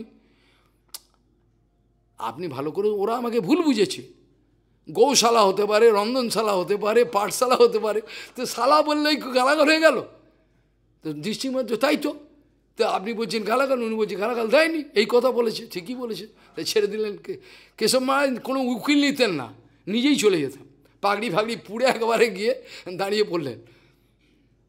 এগুলো শুনলে তুমি অবাক হয়ে যাবে ল্যাজ গুটিয়ে পালাবে এই মথুরাতে মর যখন উদ্ধার করেছিল মহারাজের আবির্ভাব তিরুভাবতির কথা বলার আর টাইম কই সময় হয় না ইংরেজি তো হয়ে গেছে অনেক মথুরা মঠটা উদ্ধার করেছে গুন্ডা তোমাকে খুন করে ফেলবে সেইখান থেকে উদ্ধার করেছে কেশব গোস্বী মাছ বলে অন্য কেউ হলে পালাতো এই যে তোমার চুঁচুড়ার মঠটা উদ্ধার করেছে এসব শুনলে না কোনোদিন বলবো বিভীষিকা ভয় খেয়ে যাবে এইরকম ব্যাপার হ্যাঁ এ উদ্ধার করা অসম্ভব কেশব মহারাজের নামে কেস করেছে কেশব মহারাজ নিজে চলে যাচ্ছে কোর্টে কোর্টে গিয়ে নিজেই ওকালি নিজেই করছে নিজে আইন জানা আছে বড় ঘরের জমিদার ঘরের লোক যাই হোক এই হচ্ছে এরা এরা যা করেন সেটাই ভক্তি এরা যা করেন সেটাই ভক্তি হয়ে যায় কেন ভগবানের নিজজন এরা যে যাই হোক ক্লেশাগ্নি হয়ে গেল শুভদয় হয়ে গেল মোক্ষ এবার তুমি চাও মোক্ষ দিয়ে কি করবে প্রবাদ জিজ্ঞাসা করছেন আচ্ছা মোক্ষ মানে মুক্তি মুক্তি কীরকম ধরনের মুক্তি এরা আবার নির্ভর করে যেমন বুদ্ধিস্ট ওরা নির্বাণ পায় নির্বাণ কথার আরেকটা মানে মুক্তিও হতে পারে এরা গিয়ে এই যে আমাদের ভূর ভুব স্ব মহ তপসত্ত্ব সাতটা ওপরের লোক আর সাতটা নিচে অতল বিতল তলাতল রসাল পাতাল সুতল সব তলে আর ওপরে সাতটা এই ব্রহ্মার যেখানে থাকেন সেই লোকটা পার হয়ে গেলে তারপর তুমি একটা বিরাট একটা বিরজা নদী পাবে সেটাকে চিন্ময় নদী বলে এই বিরজা নদীতে অসংখ্য ব্রহ্মাণ্ড এরকম ভাসছে বিরজা জলেতে এর চোখে দেখা যায় না চিন্ময় এই যে বিরজা এই বিরজাতে গিয়ে বিরজা চিহ্ন এই বিরজাতে গিয়ে এই যারা বুদ্ধিস্ট তারা ব্রহ্ম নির্বাণ এরা ওইখানে গিয়ে আর যারা অসুর যাদেরকে শিশুপাল আদি যাদেরকে কৃষ্ণ চক্র দিয়ে মেরেছেন রাবণ এরা সব কি করেন কংস এগুলো গিয়ে কি করেন এরও ওপরে যেহেতু কৃষ্ণ তাদের দিয়েছেন এর ওপরে গিয়ে নির্বিশেষ ব্রহ্মজ্যোতি যা আছে নির্বিশেষ ব্রহ্মজ্যোতি একটা জ্যোতি পাবে বিরজ নদী পার হলে একটা ব্রহ্মজ্যোতি সেইখানে গিয়ে ওরা বুধ হয়ে যেমন হিরোইন খায় পয়সাওয়ালা ঘরের লোকেরা লক্ষ লক্ষ টাকা হিরোইন খায় খাওয়ার পরে এবার সাপ আছে অ্যাকোরিয়ামে বিষাক্ত সাপ সেখানে গিয়ে জিপটা দেয় জিপটা দিলে সাপটা দংশন করে ও শুয়ে পড়ে এরকম হাজার হাজার কেস একটা বেশি একটা সাপের ছোবল খেতে তোমাকে কত হাজার টাকা দিতে হবে জানো ওই বুধ হয়ে পড়ে রইল এক মাস ওটা ওরা আনন্দ রাখে তাই এটা এই যে বিরজা নদীতে মিলে গেলে কি পেলে তুমি আর তুমি যে ব্রহ্মজ্যোতিতে মিলে গেলে কি পেলে তুমি যদি নিজেই রসগোল্লা হয়ে যাও তা রসগোল্লা আস্বাদনটা কে করবে কথাটা বোঝা গেল না আমি যদি নিজেই রসগোল্লা হয়ে গেলাম তা রসগোল্লা আমাদের রসগোল্লা চাই রসগোল্লা এক জায়গায় থাকবে রসগোল্লা আস্বাদন করার লোক থাকবে আর আস্বাদন নামক বিষয়টাও থাকবে অর্থাৎ ভক্তি ভক্ত ভগবান ভগবান থাকবে ভগবানের ভক্তি করবার যে ভক্ত সে থাকবে আর ভক্তি নামক যে আনন্দময় যে একটা অনুষ্ঠান ভগবানকে ভালোবাসব এ তিনটে আলাদা থাকবে কি ওরা বলছে মিলিয়ে দাও তাহলে এতে কোনো এই জন্য প্রবাদ বলছেন আচ্ছা আপনারা যে এই যে প্রকৃতির এই বন্ধন থেকে মুক্ত হতে চান প্রথম মুক্তি হলো ফার্স্ট মুক্তি মুক্তির অনেক অর্থ প্রথম মুক্তিটা হলো এই প্রকৃতি এই যে দুর্গাদেবী বেঁধে রেখেছে এইখান থেকে বেরোতে হবে এই যে প্রকৃতির যে ত্রিগুণ প্রকৃতির যে ত্রিগুণ যার দ্বারা গীতাতে বলছেন প্রকৃতি ক্রিয়মানানি গুণ কর্মের অবসহ অহংকার বিমুরাত্মা কর্তা অহম ইতিমান্যতে এই যে ডুয়ারশিপ আমি কর্তা আমি মালিক তুমি আমার নিচে থাকবে এইটা বন্ধনের কারণ গুরু বৈষ্ণব কাউকে বন্ধনে রাখেন না তাহলে দেখা গেল তাহলে প্রকৃতি সব যে ত্রিগুণ এটা সবাইকে নাচাচ্ছে প্রকৃতি যে ত্রিগুণ এ সবাইকে নাচাচ্ছে সবাইকে নৃত্য করছে সবাই যেমন পুতুল খেলা হতো চুল দিয়ে বাঁধা ছিল পুতুল পুতুল নাচ দেখেছেন দেখেননি ওই সরু চুল লাগানো আছে পুতুলটা নাচছে কথা বলছে কি বাচ্চা বয়সে বাহ ভালো তো পুতুল কথা বলে এইটা প্রকৃতি দেবী করাচ্ছে হঠাৎ ঘরের মধ্যে বউ আর শাশুড়ি চুলোচুলি আরম্ভ হয়ে গেল একটা কথা কিছুই না সামান্য একটা গেল কথা বলেছে এটা বুঝতে না পেরে গেল শাশুড়ি এবং বউ মারামারি শুরু হয়ে গেল চুলোচুলি হয়ে গেল কে করালো প্রকৃতি দেবী করালো ও রজগুণ ও তমগুণ কেউ কাউকে সহ্য করবে না ব্যাস লাগ মার একটা কথা খালি ফোনে গেল দুম করে একটা অ্যাটম্বম পড়ে গেল কোথায় জাপানে বলো একটা খালি শব্দ তাহলে শব্দের কতটা পাওয়ার দেখো একটা খালি ভুল খবর শব্দ একজন দিয়ে দিল ব্যাস অ্যাটম্ব পড়ে গেল জাপানে এবার বংশের পর বংশ সবাই হিরোসীমা নাকাসাকি চলে গেল এইভাবে শব্দের দ্বারা কি করে নিয়ন্ত্রিত হয় লোকে জড় শব্দের দ্বারা কিভাবে লোকে আগুনে ঝাম মারছে মরছে আর কিভাবে অপ্রাকৃত শব্দব্রহ্ম হই কথা শুনতে শুনতে কি করে অপ্রাকৃত জগতে যায় এই দুটো পার্থক্য এটাই বুঝতে লেগে যায় জন্ম জন্ম এটা বুঝতে পারে না তাহলে ক্লেশাগ্নি শুভদা মোক্ষ লঘুদাকে মোক্ষকে তুচ্ছ করে মোক্ষকে ছ্যা ছ্যা বলে মোক্ষকে তুচ্ছ করে দেয় ভক্তির এতই আনন্দ ভক্তির এতই মহিমা ভক্তিদেবী যার ভেতরে আস এবার ভক্তিদেবীর কথা যেটা বলতে গিয়ে আমি আগে বললাম ভক্তিদেবী কার মধ্যে কখন কেন যাবে কেউ জানে এই যে বলছিলাম একটু আগে এটা কারণ হলো এই যে ব্যাখ্যা করছিলাম যে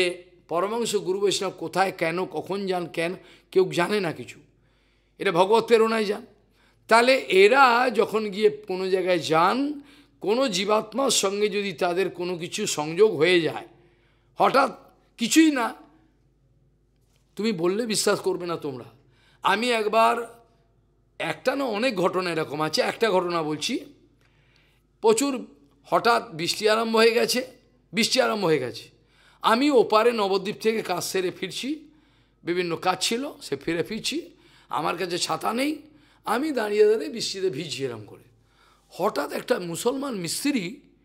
হঠাৎ আমার কাছে ছাতাটা নিয়ে এলো বড় এসে আমার মাথায় ঢুকলো আমি তো অবাক হয়ে গেল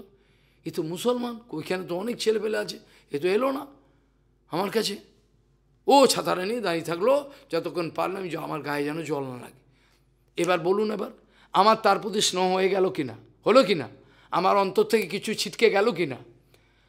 আমার অন্তর থেকে কিছু ছিটকে গেল না গেল না কিছু ভাব আমার চলে গেল ওইটি ও দেখবে এবার মুসলমান জন্ম এই জন্ম হতে পারে কে পরের জন্ম সে আবার ভক্ত হয়ে যাবে তাহলে কি করে যে কি হয় তুমি ভাবতেই পারবে না ও কিন্তু স্বপ্নেই ভাবেনি এইভাবে মঙ্গল হয়ে যায় কি করে মঙ্গল হয় কেন হয় কেউ জানতে পারে না দেখো বীরহাম্বির রাজা আমাদের শ্রীনিবাস কেউ জব্দ করতে চেয়েছিল হ্যাঁ শেষে কি হলো শেষে কি হলো বলুন সে পরম ভক্ত হয়ে গেল পাগল হয়ে গেল আনন্দে পীরহাম্মির রাজা ডাকাত তার সামনে পাগল হয়ে গেল আনন্দে তার আর কিছু করার থাকলো না আবার এমনও আছে যে রাজা একটা সাধুর প্রতি আকর্ষণ পাচ্ছে রাজা সাধুটার পাশে যায় হরিকথা শোনে এবং রানীর ভেতরে রাগ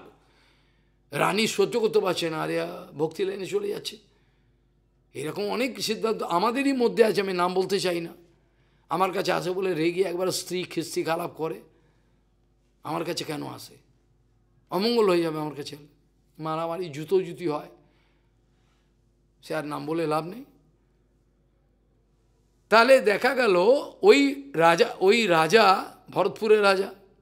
সে আসে এখানে ও রানী সহ্য করতে হয় কেন যায় রাজাটাকে ভোগ করতে পারছে না এবার সে কী করলো একটা মিথ্যা একটা বেশ্যাকে লাগিয়ে দিল একটা সাধু হরিকথা বলছে ভাগবত কথা হঠাৎ বেশ্যাটা চলে এলো এত লোকের মাঝখানে এবার যে সাধু তাকে অপমান করছে আরে কথা পড়বি পরে আগার আমার দায়িত্ব কে নেবে বলে যা তা বলতে আরম্ভ করলো আরে অবাক হবার লোক তো অবাক আরে এত বড় একজন সাধু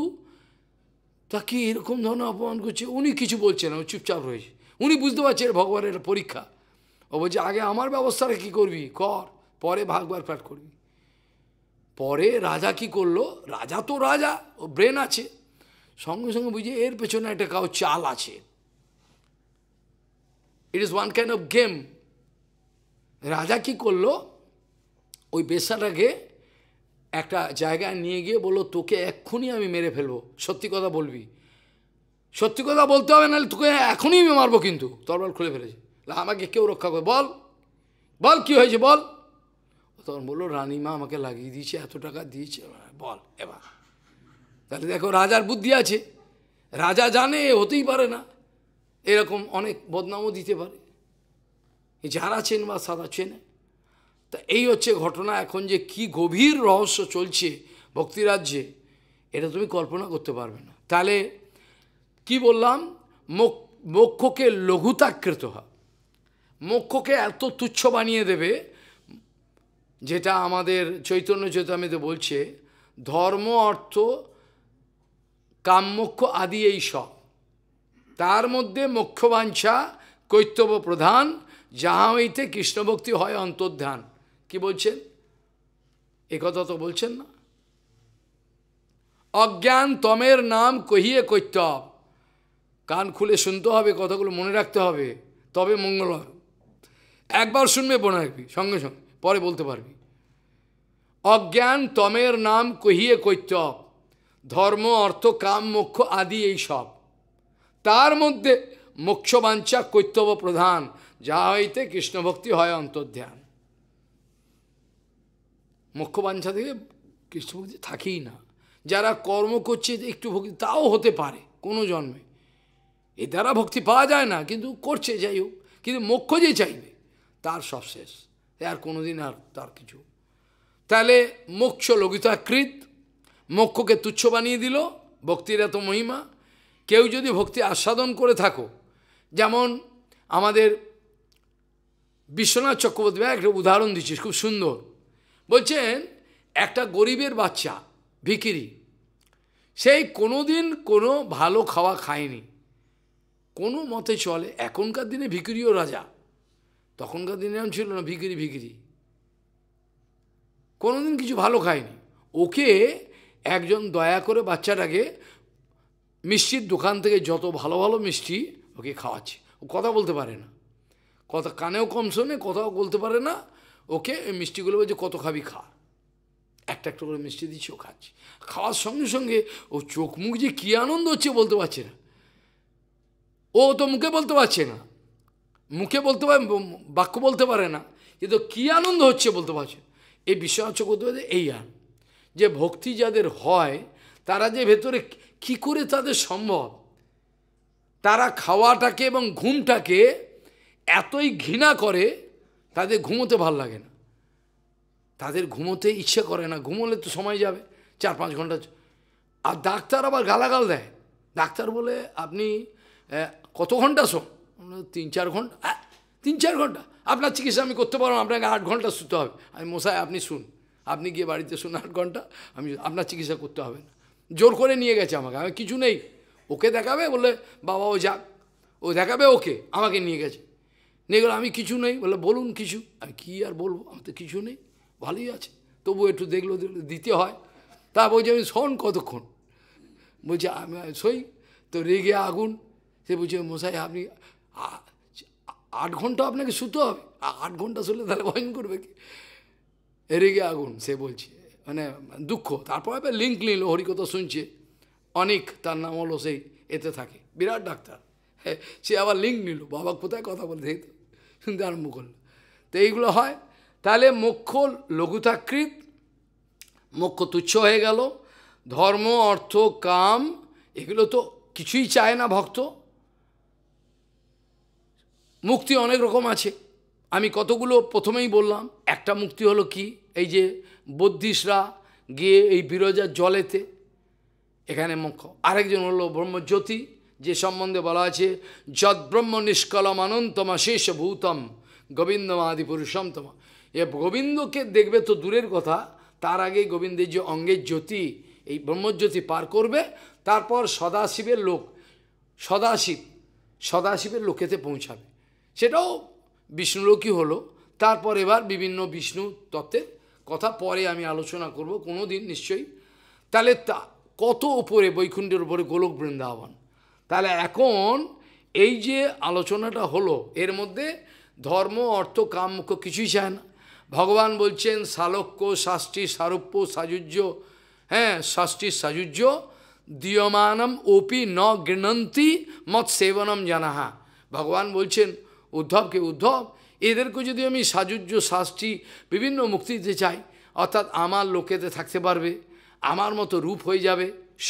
সারূপ্য সাজুজ্য সাজুজ্য মুক্তি পরে আসছি শাস্তি আমার মতো ঐশ্বর্য পাবে এগুলো যদি আমি তাদের বলি তারা কেউ নেয় না বলে এগুলো দিয়ে কী করবো আমি এগুলো নেয় না ভগবান বলছেন আমি দিতে চাইলেও নেয় না দিয়মানম ওপি ন গৃণন্তি মৎ সেবন খালি তোমার সেবা চাই খালি তোমার সেবা চাই আমাদের কিছু চাই না তাহলে এই সেবাতে কি আনন্দ এটা যে বুঝেছে সে বুঝেছে আর যে বোঝেনি তাই জন্য তো সাধুগুরু বৈষ্ণবে ক্লান্ত হয় না কেন কেন তারা আনটায়ার্ড অবস্থায় সবসময় চল কি কারণে সকালবেলা দেখো রাত্রির বারোটা দেখো মনে হচ্ছে ঘুম থেকে উঠলো এত এনার্জি কি করে হয় কি করে হতে পারে অথচ খাওয়া দাওয়া ঠিক নেই সেরকম এগুলো কারণ হলো এই ভক্তির জন্য এটা হয় ভক্তিদেবী ওদেরকে এমন শক্তি দেয় ভক্তিটাই শক্তি যেমন আগেকার দিনে পিথু মহারাজ অম্বরীশ মহারাজ থেকে আরম্ভ করে যুধিষ্ঠির এদের কেন এত শক্তি ছিল অথচ এদের কথা সারা পৃথিবীর লোক শুনত আর আমাদের ঘরেতে চারজন পাঁচজন মেম্বার থাকলে বাবার কথা ছেলে শোনা ছেলের কথা বাবা শোনে না স্ত্রী অন্যদিকে চলে যাচ্ছে বাবা অন্যদিকে বলছিলাম না সেদিনকে ও সবাতে তাহলে এখানে একটা ছোট ফ্যামিলি পাঁচজন একে কন্ট্রোল করার লোক নেই একটা মন্দির এতে যে যে যা পাচ্ছে করছে কারণ কন্ট্রোলিংয়ের ডাক্তার নেই তো খালি হসপিটাল খুলে রেখেছে মন্দিরগুলো হসপিটাল ডাক্তার নেই তা মন্দির যদি গেলি খালি আমি মন্দির খুলে ফেলি আর ডাক্তার না করি যেহেতু তোমাদের বোকাটা করছে খালি মন্দির খুলে যাচ্ছে আরে তুই আগে নিজের চিকিৎসা কর তুই নিজে ডাক্তার হ চিকিৎসার কোনো ব্যবস্থা তাহলে কি করবে ওরা খাবে দাবে গুলতামি করবে ওদের দোষ কী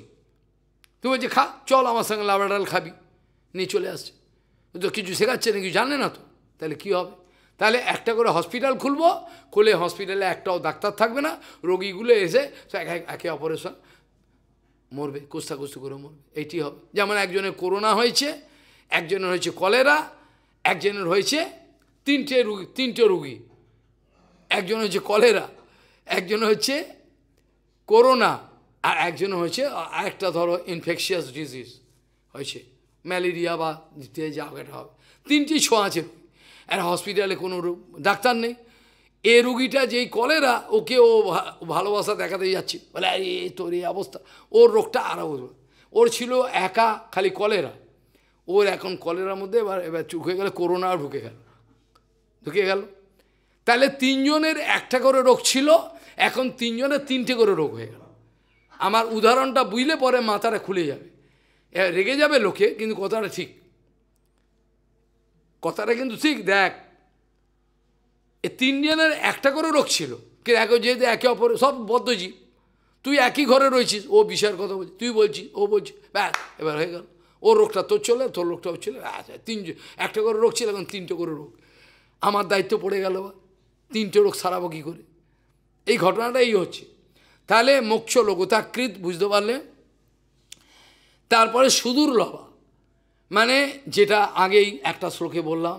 জ্ঞানত সুলভা মুক্তির ভক্তির যজ্ঞাদি পুণ্যত সেয়ম সাধন সহস্রের হরিভক্তি সুদূর লভা শত জ্ঞানের চেষ্টা করো শত কর্ম করো কত যোগ্য কিছুতেই ভক্তি পাবে না ভক্তা সঞ্জাত একমাত্র ভক্তি ভক্তর থেকেই পাওয়া যায় কোনো জায়গায় আর পাবে না কোনো কিন্তু কোনো জায়গায় পাবে না তাহলে কোনো কিছু দিলেও তারা ভক্ত নেবে না সে কেবল ভগবানের সেবা চায় তাহলে এবার প্রথম কথা হলো ক্লেশাগ্নি হয়ে গেল এটা বোঝা হলো সুভদা বোঝা হয়ে গেল মোক্ষ লঘুতাকৃত সুদূর লবা এবার সুদূর লবা বুঝবার বলে সমস্ত পাওয়া যাবে ভগবান নিজে বলছেন ভগবান ভগবানের কথা বলতে গিয়ে নারদজি বলছেন যুধিষ্ঠির মহারাজকে যে ভগবান এত চালাক যে তার চেয়েও বেশি চালাক হলো ভক্ত ভগবানকেও বোকা বানিয়ে দেয় হে কথার কথা একটি মজার কথা কথার কথা বলছি মানে এরা চায় কি এই যে কথাটা বলছিলাম নারদজি মহারাজ বলছেন যে ভগবান ভক্তি দিতে চায় না ভক্তি লুকিয়ে রাখে ভক্তি দেয় না এই জন্য নারদজি মহারাজ বলছেন যে তুমি যদি খুব পিড়াপিড়ি করো তাহলে বলবে দেখ এক কাজ কর তুই কি কি সেবা করেছিস তার পেমেন্ট নিয়ে যা পেমেন্ট বুঝো যে যথামাম প্রপদ্যন্ত তাং বা ভাজাম তুই আমাকে ইয়ে সেবা করেছিস নৃসিংহদেব বলছে ওই আমার পরমান্ন দিয়েছিলে কী চাস বলে আমার কেসটাকে একটু কাটিয়ে দাও কাটিয়ে তুই তো আমাকে চাসনি মনে নেই তোমার কুড়ি কেজি পরমান্ন দিয়েছিলাম এখন আমার কেসটা লেগেছে একটু সারিয়ে দাও এই হচ্ছে আমাদের ভক্তি ভগবানকে আমরা গোলাম বানাবো এর কি ভগবানের ভক্তি বলে ভগবানকে গোলাম করলাম সেবা দিয়ে দিলাম কোথায় আমি ভগবানের সেবা করো এটা ভক্তি বলে না তাহলে নারদজি মারে বলছেন ভগবান দদাতে মুক্তিম স্মন ভক্তি যোগম ভগবান খুব পীড়াপিড়ি মুক্তিপণ দিয়ে মুক্তি নিয়ে নেয় কিন্তু ভক্তি দিতে চায় না ভক্তি লুকিয়ে রাখে কেন ভক্তি এমন একটা সম্পত্তি ভগবানের একটা গুপ্ত সম্পত্তি ভক্তি যেটা কাউর মধ্যে গেলে ভগবান এবং তার পেছনে দৌড়াবে ভগবান বলে আমার সময় নেই এখন ওকে যদি ভক্তি দিয়ে দিই ও ভক্তির লোক যোগ্য নয় তাহলে ওর পেছনে আমাকে যেতে হবে কেন ভগবান যাকে ভক্তি দেন তার পেছনে সর্বদা বিরাজমান থাকেন মানে ভক্ত যেমন ভগবানের ভক্ত সেরকম ভগবানও ভক্তের ভক্ত কথাটা মানে বুঝলে কি ভগবানের যেমন ভক্ত ভক্ত হয় ভক্ত হচ্ছে ভগবানের ভক্ত আবার ভগবানও কিন্তু ভক্তের ভক্ত এই জন্য বলছেন আমি এদের ছাড়া কিছু জানি না নাহাম তেভ্য মানা গোপী আমি ভক্তদের ছাড়া কিছু জানি না ভক্তরা আমাকে ছাড়া কিছু জানে না আমি বুঝতে চাইও না তো ওরা আমাকে ছাড়া কিছু চায় না আর আমিও তাদের ছাড়া কিছু চাই না তো এই জন্য নারজি মহারাজ যে ভক্তি দিতে চায় না ম্যাক্সিমাম ইউ ক্যান গেট সাজুর্য মুক্তি ওকে সাজুর্য লিভ আরও শালক্য আছে সারুপ্য আছে শাস্তি আছে অনেক কিছু মুক্তি আছে সেগুলো নিয়ে নে ওকে আমি আমার জায়গায় তোকে দিয়ে দিচ্ছি ওখানে চল ভক্ত নেবে না ভক্ত বলবে তোমার ভক্তি চাই আমি তাহলে এবার অনন্ত ব্রহ্মাণ্ড যদি খুঁজে পাওয়া যায় তাহলে গৌরকিশোর বাবাজি মহারাজ পৌপাদের মতো ভক্ত দু একজন কি পাওয়া যাবে কি শুধু ভক্তিবিন ঠাকুর কিন্তু আমরা এতই পোড়া কপাল আমাদের চোখের সামনে এত সুযোগ golden opportunity were getting but সুয়ারে সেনে কসু আর বান্দরে সেনে কলা এইটি হয়েছে কথা ঠিকই বলতেন ত্রিবিক্রম মহারাজ এই এখন কথা তাহলে সুদুর্লভা হয়ে গেল সব কিছু দেবেন কিন্তু ভক্তি দিতে চান না তারপর সান্দ্রানন্দ একটা ঘনীভূত আনন্দ এই আনন্দটা কোনো সামান্য আনন্দ নয় জড়জগতের যে আনন্দটা আমি জানি জড়জগতে আনন্দ আছে জড়জগতে আনন্দ নেই সেটা তো হতে পারে না জড়জগতে যদি না আনন্দ তাহলে লোকগুলো কি পাগল নাকি এই দৌড়াচ্ছে যে তাহলে জড়জগতে আনন্দ আছে বিবাহ করে আনন্দ করে সব কিছু করে কিন্তু এই আনন্দগুলো চিরস্থায়ী নয় চিরস্থায়ী নয় আজকে আনন্দ হলো কালকে কাঁদতে আরম্ভ করলো থাকে না এগুলো আনন্দ এগুলো অনিত্য সেই জন্য বাস্তবিক যারা সাধু তারা বাস্তবিক নিত্য আনন্দ নিত্য আনন্দ তারা বাস্তবিক আনন্দ চায় তারা এই জগতের কোনো ছত্তুচ্ছ আনন্দ চায় না যেটা ভগবান গীতাতে বলছেন না যেহি সংস্পর্শ যা ভোগাহা দুঃখজনে এবতে adyantavant kuntiyo na teshu ramate buddha. Those who are really intelligent, they never run for sensual gratification. আত্মেন্দ্রীয় তৃপ্তি করবার জন্য তারা দৌড়ায় না যারা বাস্তবিক সাধু যারা বোকা দৌড়ে যায় ভগবান বলছেন যে এই সংস্পর্শ যা ভোগা যেগুলো চোখ দিয়ে দেখা যায় হাত দিয়ে করা যায় স্পর্শ আনন্দ নেওয়া যায় খাওয়া জীবা আনন্দ সমস্ত আনন্দ শরীরের সেগুলো এক সাধু নেয় না ওদের কাছে বিরক্তিজনক ওদের কাছে বিশ্রামটাও বিরক্তিজনক খাওয়াটাও বিরক্ত সময় নষ্ট হয়ে গেল পৌপাতকে কেউ বিশ্রাম যেতে দেখেনি কখন বিশ্রাম যেতেন তারপরেও তো পৌপাতের সঙ্গে বেইমানি করলো সব করেছি কি না সব বেইমানি করলো সব ছেড়ে দিল দুর্ভাগ্য প্রপাত যাওয়ার আগে বলছেন আমার দুর্ভাগ্য তোমাদের দুর্ভাগ্য তোমাদের কপাল পুড়েছে প্রবাদ বলতেন আমি যে জিনিসগুলো দেওয়ার জন্য জগতে এলাম আমি দেওয়া তো দেওয়া তো দূরের কথা খালি এদেরকে মায়া কাকে বলে এটা বোঝাবার জন্য আমার জীবনটা চলে গেল এটা মায়া বলে এদিকে যাস না এটাকে মায়া বলে এদিকে যাস না তোরা এদিকে আয় এই কথাটা বোঝাতেই আমার জীবন চলে গেল এদিকে আসল জিনিস আর কী বলবো যে প্রাকৃতিক জগতের প্রেম সম্পত্তি এগুলো আমি কী করি আমি তো এইগুলো দিতে দেওয়ার জন্য এসেছিলাম কিন্তু এ তো নেওয়ার যোগ্য ব্যক্তি পেলাম না যোগ্যবাদী মানে কয়েকজন তো ছিল গুরুবর্গের মধ্যে তবুও প্রপাত আফসোস করে বলছে যে আমি এগুলো দিতে এলাম কিন্তু আমার খালি এদের মায়া এটাকে মায়া বলে এদিকে যাস না এগুলো সর্বনাশ এইটা বোঝাতেই আমার সময় চলে গেল আমাকে এখন জগৎ থেকে চলে যেতে হবে তো কি বুঝবে লোকে তাহলে ঘনীভূত আনন্দ যেটাকে বলে চিৎ ঘনানন্দ যেটাকে বলে চিৎ ঘনানন্দ এই আত্মাটা আমি অনেকবার তোমাদের বলেছি এটা মনে রাখতে পারো না আত্মা আনন্দময় আত্মা জ্ঞানময় আত্মা প্রকাশময় আত্মা চিন্ময় কি কি বললাম আত্মা চিন্ময় আত্মা জ্ঞানময় আত্মা আনন্দময় আত্মা হ্যাঁ চার রকম কিন্তু এইগুলো এখন অনুভব হচ্ছে না কেন বদ্ধ অবস্থায় রয়েছে এগুলো বদ্ধ অবস্থা অনুভব হচ্ছে না যেদিন এই বদ্ধ অবস্থাটা খুলে যাবে কাপড়টা সরিয়ে দেওয়া মায়াদেবীর পর্দাটা তখন হায় আফসোস করবে আরে পাপ সারা জীবন আমি নষ্ট করলাম আমি অনায়াসে পেতে পেতে পারতাম নিদেহ মাধ্যম সুলভম সুদুর্লভম প্লবম সুকল্পম গুরুকর্ণধারম মায়ানুকূলে নবশ্যতে ঋতম ন তো স আত্মহা কোনোদিন ব্যাখ্যা করব শুনবে ব্যাখ্যা শোনা যাবে আস্তে আস্তে তাহলে এখন হলো সান্দ্রানন্দ সুদুর্লভ হয়ে গেল তারপর যে সান্দ্রানন্দ মানে ঘনীভূত আনন্দ চিত ঘনানন্দ আত্মার স্বভাবই আনন্দ আত্মার যদি স্বরূপটা প্রকাশ হয়ে যায় তখন যে কি আনন্দ হবে এখন বুঝতে পারছেন এই জন্য ভগবান বলছেন এই জড়জগতের যে ভূতগুলো আছে এরা এই সামান্য ভোগের জন্য দৌড়াচ্ছে যেহি সংস্পর্শ যা ট্যাঞ্জেবল এনজয়মেন্ট যেটাকে আমাদের সব শব্দ স্পর্শ রূপরস গন্ধ এর মধ্যেই ঘোরাফেরা করছে লোকে চিন্তা করে দেখবে কোনো না কোনো একটা এরকম একটা শব্দ নয় শব্দ নয় স্পর্শ নয় রূপ নয় রস নয় গন্ধ এই পাঁচটা বিষয় দৌড়াচ্ছে গভীরভাবে চিন্তা করলে দেখা যাবে একটা যে আনন্দের যে কী আনন্দ চাইছে সে বলে একটা এই পাঁচটার মধ্যে একটা হবেই কিন্তু আত্মাটা যখন নিজের স্বরূপটাকে উন্মোচন হয়ে যাবে ভগবানের কৃপা গুরু বৈষ্ণবের কৃপায় তখন দেখতে পাবে আনন্দের সাগরে ভাসছে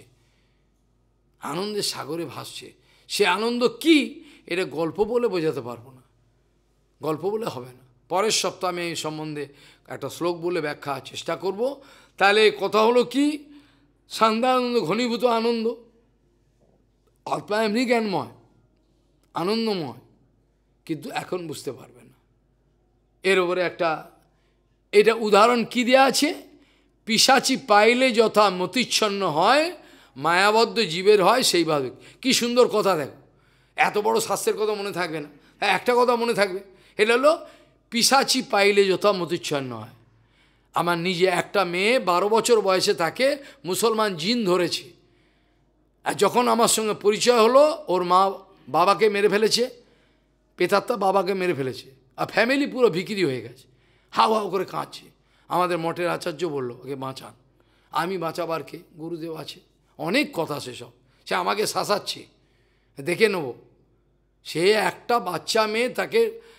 এখন সে বাইশ বছর বয়স মানে বারো বছর বয়স হতো যে এখন তো আমি যখন তখন বাইশ তেইশ বছর বয়স তখন তাকে পাঁচ দশজন ধরে রাখতে পারছে না আর তার সামনে আমাকে যেতে হচ্ছে গিয়ে তাকে শাসাতে হচ্ছে তারপর সে গেল সব কতটা রক্ত জল করে নিজের উপবাসের ফল একাদশী তারপরে পরিক্রমা গোবর্ধনের ফল কত কিছু দিয়ে তারপরে তাকে তারা তুলল তাও যাবে না আগুন নিয়ে পরিক্রমা করতে অনেক কিছু করার পর তারপর সে গেল সে বিভৎস এখনও পর্যন্ত স্টপ কৈলাসে যদি কোনো পুরনো ভক্ত তারা সব জানে বলে মহারাজ আমরা ভয়ে ঘুমোতে পারতাম না ভয়ে কাঁপতাম ভয়ভীত হয়ে গিয়া এইরকম তো এইভাবে পিসাচি পাইলে যথা মতিচ্ছন্ন হয় আমি যে বৃন্দাবন থেকে যাব ওই পিতার তো জানতে পেরে গেছে ও কালো কাপড় মুড়ি দিয়ে ঘরের মধ্যে বসে রয়েছে এরম করে আমি যে যাব কাকে নিয়ে ওই সুরেশ সুরেশ একটা উড়িয়া ভক্ত খুব সাহসী ও আমার সঙ্গে চললো আমি জানি আমি চিনি না জায়গাটা ওখানে গেছি সুরেশ নিয়ে গেছি আমাদের মোটে আছে সব অনেকজন গেল তারপর যে কাণ্ড ও আগে থেকে জানে আমি যে বৃন্দাবন থেকে যাচ্ছি ভুজ ছাড়াতে ও জেনে গেছে ওইখানে চিৎকার করছে ঘরে ঢোকার সঙ্গে সঙ্গে আমি যখন ঢুকেছি তখন তো ফটো ফটো সব ভাঙছে ধুমধাম করে তখন আমিও নৃসিংহ মূর্তি চিৎকার করে এই তোমার এ ভাষায় বলতে হলো কি বলে উর্দু ভাষায় উর্দু ভাষায় ওর সঙ্গে কথা বলতো মুসলমান তো তারপর গেল তো যাই হোক পিসাচি পাইলে তাহলে আমা আমাদের মতে যে ভূত ভূতগুলো ঢকে মায়ার ভূত সেগুলোকে কে ছাড়ায় গুরু বৈষ্ণব ছাড়ায় কে ছাড়াবে গুরু বৈষ্ণব ছাড়া পিসাচি পাইলে যথা মতিচ্ছন্ন হয় পিসাচি যখন পায় তখন এই যেমন মাদুরাই তার রাজার কন্যা তো সাত দিনের আছে বিবাহ হবে তাকে এবার পেতাত্ম ধরেছে সে ল্যাংট হয়ে গাছের উপরে উঠে যাচ্ছে তার রামানুজাচার্য ছিল লক্ষণ দেশিক এবার তার গুরু ছিল যাদবাচার্য এবার ওদেরকে রাজা বলছে আমার মেয়েটাকে বাঁচানি পেতাত্তা ধরেছে কি করব পেতাত্তা ও বিয়ে হবে সাত দিন পরে ও ধুমধাম করে হাত হাতে কাজে তাল গাছের উপরে উড়ি হ্যাঁ রাজা তো মাথা খারাপ এখন আমার মেয়ে বিয়ে হবে না কি করা যায় তাকে কোনো মতে নামিয়ে এনে তারপরে তাকে জোর জবস্তি কতগুলো লোক ধরে বসায় এবার রামানুচার্য বাচ্চা বাচ্চা লক্ষ্মণ দে শিখছে ছোটো বাচ্চা আর যাদব যাদবাচার্য হলো তার এই মায়াবাদ ভাষ্য পড়ে অনেক ঘটনা কোনোদিন আবির্ভাব তিরোবা হলে জানতে পারবো এবার পেতাত্তাকে এবার রাজপণ্ডিত ওদের রাজপণ্ডিত বলছে যে বল এই যাদবাচার্য আছে ব্রাহ্মণ বিরাট ক্ষমতা হয় বলে দত বেটা ক্ষমতাশালী এ পূর্বজন্মে গোসাপ ছিল পেতাত্তা বলছে এই যাদবাচার্য পূর্বজন্মে গোসাপ গোসাপ ছিল গোসাপ গোসাপ দেখেছ কুমিরের মতো দেখতে গোসাপ দেখেছি বন্যার সময় আমি দেখেছিলাম একবার চারিদিকে বন্যা অতই সালে নৌকা করে যাচ্ছি আমি কি করব। গোসাপ বলে পূর্বজন্মে গোসাপ ছিল গুরু বৈষ্ণবের উচ্ছিষ্ট প্রসাদ খেয়ে নিয়েছে এই জন্য মানুষ জন্ম হয়েছে এ কি আমাকে পার কর হ্যাঁ এর এর যে যাকে এই যে লক্ষ্মণ দেশিক বাচ্চাটা এ যদি আমাকে কৃপা করে তাহলে আর এখন পণ্ডিত মশাইয়ের ইজ্জত চলে যাচ্ছে আমার শিষ্য পেতাত্তা বলছে এই যদি আমাকে চরণ জল দেয় আমি চলে যাব এই কী কাণ্ড এবার ওর সবার সামনে ইজ্জত চলে গেল পেতাত্তা ইজ্জত নিয়ে নিল রাজার তখন লক্ষ্মণ দেশিকে চরঞ্জল দিল রামানুজাচার্যের তারপরে পেতারতে গেল আরে রামানুজাচার্যকে মেরে ফেলতে চেয়েছিল চরণামিত দিয়ে কি বলছো তুমি রামানুজাচার্যকে মাতাচার্যকে শুনলে তুমি মাথা খারাপ হয়ে যাবে মেরে ফেলতে চেয়েছিল তা আমাদের মতো চুটোমুটি আর কী করবো আর যা ভগবান যা করে করবো সত্য তো সত্যিই থাকবে যাই হোক এখন অনেক কিছু বলতে গিয়ে আবার সময়ও হয় তাহলে কি হলো সান্দানন্দ বিশেষ আত্মা এবার সান্দ্রানন্দ এর একটা ভক্তির এমন একটা স্পেশালিটি আছে এর সঙ্গে কোনো কিছু তুলনা করা যায় না মানে ভক্তির সঙ্গে অন্য কিছু তুলনা করতে যাওয়া হলো মূর্খতা এটা সবচেয়ে বড় সম্পত্তি কিন্তু লোকে চায় না public they are all utilitarian তারা ব্যবসায়ী তারা বোঝে আমি এইটা দিলাম কি পাবো এটা আমার বুঝিয়ে বলুন আমাকে শান্তিপুরে একবার একজন মাস্টার অপমান করছিল মানে আমি তখন মঠ থেকে পাঠিয়েছি সব শান্তিপুরে যেতে হতো ছোট ট্রেন ছোট ট্রেন ছিল গিয়ে এবার বিভিন্ন জায়গায় লোককে বোঝাতে হতো আমার সঙ্গে ওই বেডেটা যেত এবার একটা বাড়িতে ঢুকেছি ঢুকে হাত জোর করবো আমি নিজে ভিক্ষা করে নি মঠ থেকে বলেছে হরিকথা বলো গুরু মহারাজ বলেছেন ঠিক আছে এবার মাস্টার এবার কে সমস্ত ছাত্রছাত্রীদের সামনে আমাকে অপমান করার জন্য বলছে অনেক কিছু কথা সে একটা হাসির ব্যাপার মাস্টার বলছে ওই ভিক্ষা করে খায় আর কে এমা এবার মাস্টার আমাকে বিভিন্ন কোশ্চেন করছে তারপরে যখন আমি খাপটা খুলতে আরম্ভ করলাম হো হো করে ছাত্র আর ছাত্রীগুলো হাসছে আর মাস্টার মাথা নিচু ছাত্রছাত্রীগুলোর ঘরে রয়েছে আমি যখন কথা বলতে আরম্ভ করেছি তখন ওই ছাত্রছাত্রীগুলো হো করে হাসছে মুখ টিপে আর মাস্টারের মাথা নিচু মানে ও চাইছে আমি আপনাকে এই দেবো কি পাবো আমি এতটাই অমানুষ তারা এবার শিক্ষা দিচ্ছে ছাত শিক্ষক মহলের অবস্থাটা কি দেখুন সব শেষ সমস্ত শেষ পুরো দেশকে শেষ করে দিল কিছু আর থাকলো না যাই হোক তাহলে ভক্তির সঙ্গে কোনো কিছু তুলনা করা যাবে না সান্দানন্দ বিশেষ আত্মা এটা আত্মার সঙ্গে সম্বন্ধযুক্ত এটা অন্য দেহ মনের সঙ্গে সংযুক্ত নয়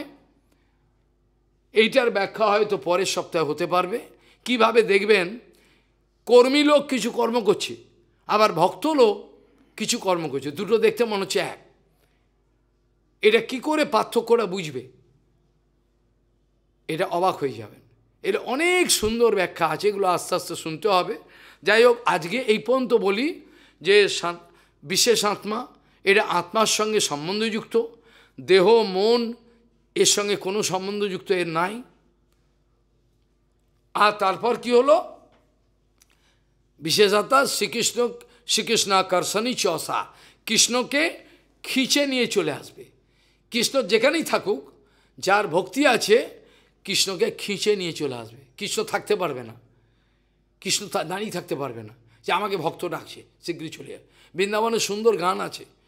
ভোজবাসীরা গান গায় কিন্তু এইসব তো এখানের লোক এসব বুঝবে না বলে লাভ নেই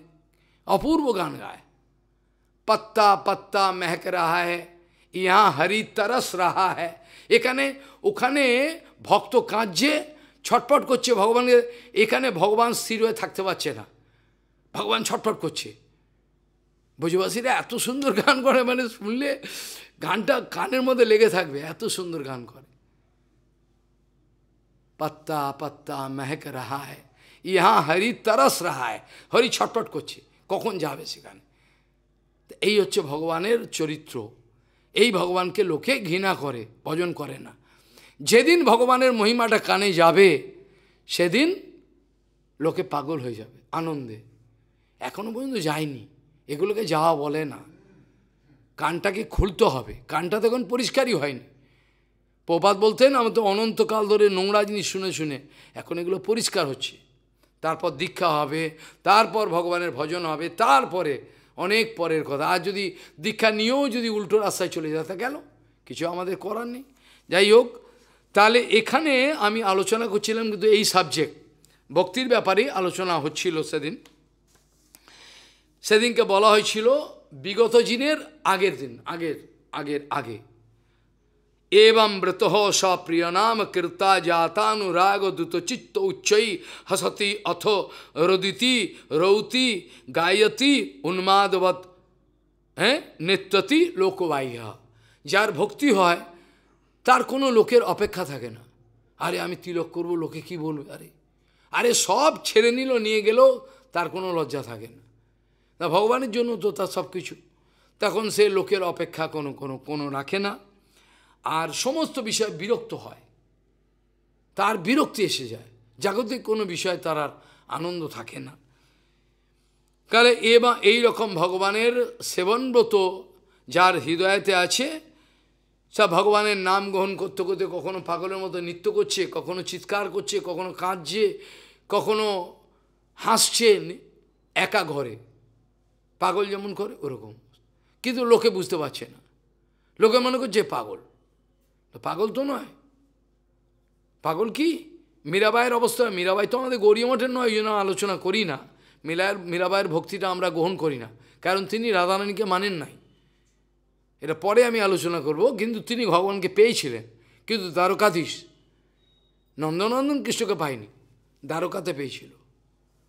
কিন্তু কথাটা হলো এই এই যে পাগলি হয়ে গেল মেয়েটা রাজকন্যা একটা তার অবস্থাটা কি সে কোনো কিছু তো আর মানছে না একা জঙ্গলের ভেতরে যে আছে গান গাইতে গাইতে কত বাঘ ভালো কোনো লোকজন মার মারধর করতে পারে কিন্তু কোনো খেয়াল নেই সব চলছে তাকে তাকে বিষাক্ত সাপ দিল ঝুড়ি করে ফল আছে বলে খুলে দেখে একেবারে কালনাক তো তো সবসময় গিরিধার গতাটা খোলার পরে মেয়েরা তো গিরিধারই লাল তো চোখ খুলে থাকে সাপ নেই এবার এবার হয়ে গেছে গিরিরাজ শিলা হয়ে গেছে তো এগুলো তো চমৎকার হয়েছে আমরা গৌরী মঠে ওনার কথা বিশেষ এই প্রসঙ্গ কমে বললে কোনো আপত্তি কিছু নেই কিন্তু হলো ওনার তো অগাধ ঐশ্বর্য পেতে পারত অগাধ ঐশ্বর্য কিন্তু তিনি তো করলেন না বৃন্দাবনে চলে এসে কারণ তাহলে যার ভক্তি হয় তার কি হয় ভক্তির এবার ক্যাটেগরি আলাদা কথা ভক্তির বিভাগ আমি বলছি না ভক্তি যার হয় তাহলে প্রহ্লাদ মহারাজ যেমন হচ্ছে একা ঘরে কাঁদছে নাচছে নৃত্য করছে হচ্ছে তো তা এবং এই রকম ধরনের অবস্থাটা হয় তার আর আগের আগের আগের দিন মানে বিগত সপ্তাহের আগে আলোচনা করেছিলাম ভক্তি পরেশানুভব বিরক্তির অন্যত্র চৈষত্রিকৈক কালহ প্রপদ্য মানস্য যথা অশ্নত সুতুষ্টি পুষ্টি ক্ষুৎপয় অনুঘাসম এই ভক্তি এমন একটি জিনিস যার মধ্যে আসে তার সঙ্গে সঙ্গে তার পর ঈশ অনুভব ভক্তি পরেশানুভব বিরক্তির অন্যত্র মানে কৃষ্ণ সম্বন্ধ ছাড়া বাকি জিনিসে তার বিরক্ত এসে যায় এগুলো স্বাভাবিকভাবে হয় এগুলো ধীরে ধীরে আলোচনা করলে এবার বোঝা যাবে আজকে আর বিশেষ না আলোচনা করে আর যে শ্লোক দিয়ে শুরু করেছিলাম সেটা হলো কি সেটা সেটা বলেছিলাম যে যার জীবনটা ভগবানের জন্য নিবেদিত যার শরীর জীবন মন সব কিছু ভগবানের জন্য নিবেদন করে দিয়েছেন তাকে কলি কি করতে পারে কলি কিছু করতে পারে না সদয়ম হৃদয়ম যশ বাচ সত্যভূষিতম কায়হ পরহিতম যশ কলিহিত করতি কিম কলি তার কী করতে পারে সব আসতে পারে কিছু করতে পারবে না যার জীবনটাই সবার জন্য ভগবানের এর জন্য যাই হোক এখানেই বিশ্রাম দেওয়ার প্রয়োজন মনে করি ঠান্ডায় কষ্ট পাবে পাঞ্চাকল্পতর্বশ্যকে বাসিন্দু পতিতানং পাবনে বৈষ্ণব হেউ নম এটা টুক করে কীর্তন করে ছেড়ে দিন এখানে আমাদের ঠান্ডা বেশি হলে ভজন হবে না গরম বেশি হলে ভজন হবে না এই ধরনের আমাদের অবস্থা কি করা যায় করার কিছু নাই তাই টুক করে একটু কীর্তন করে ছেড়ুন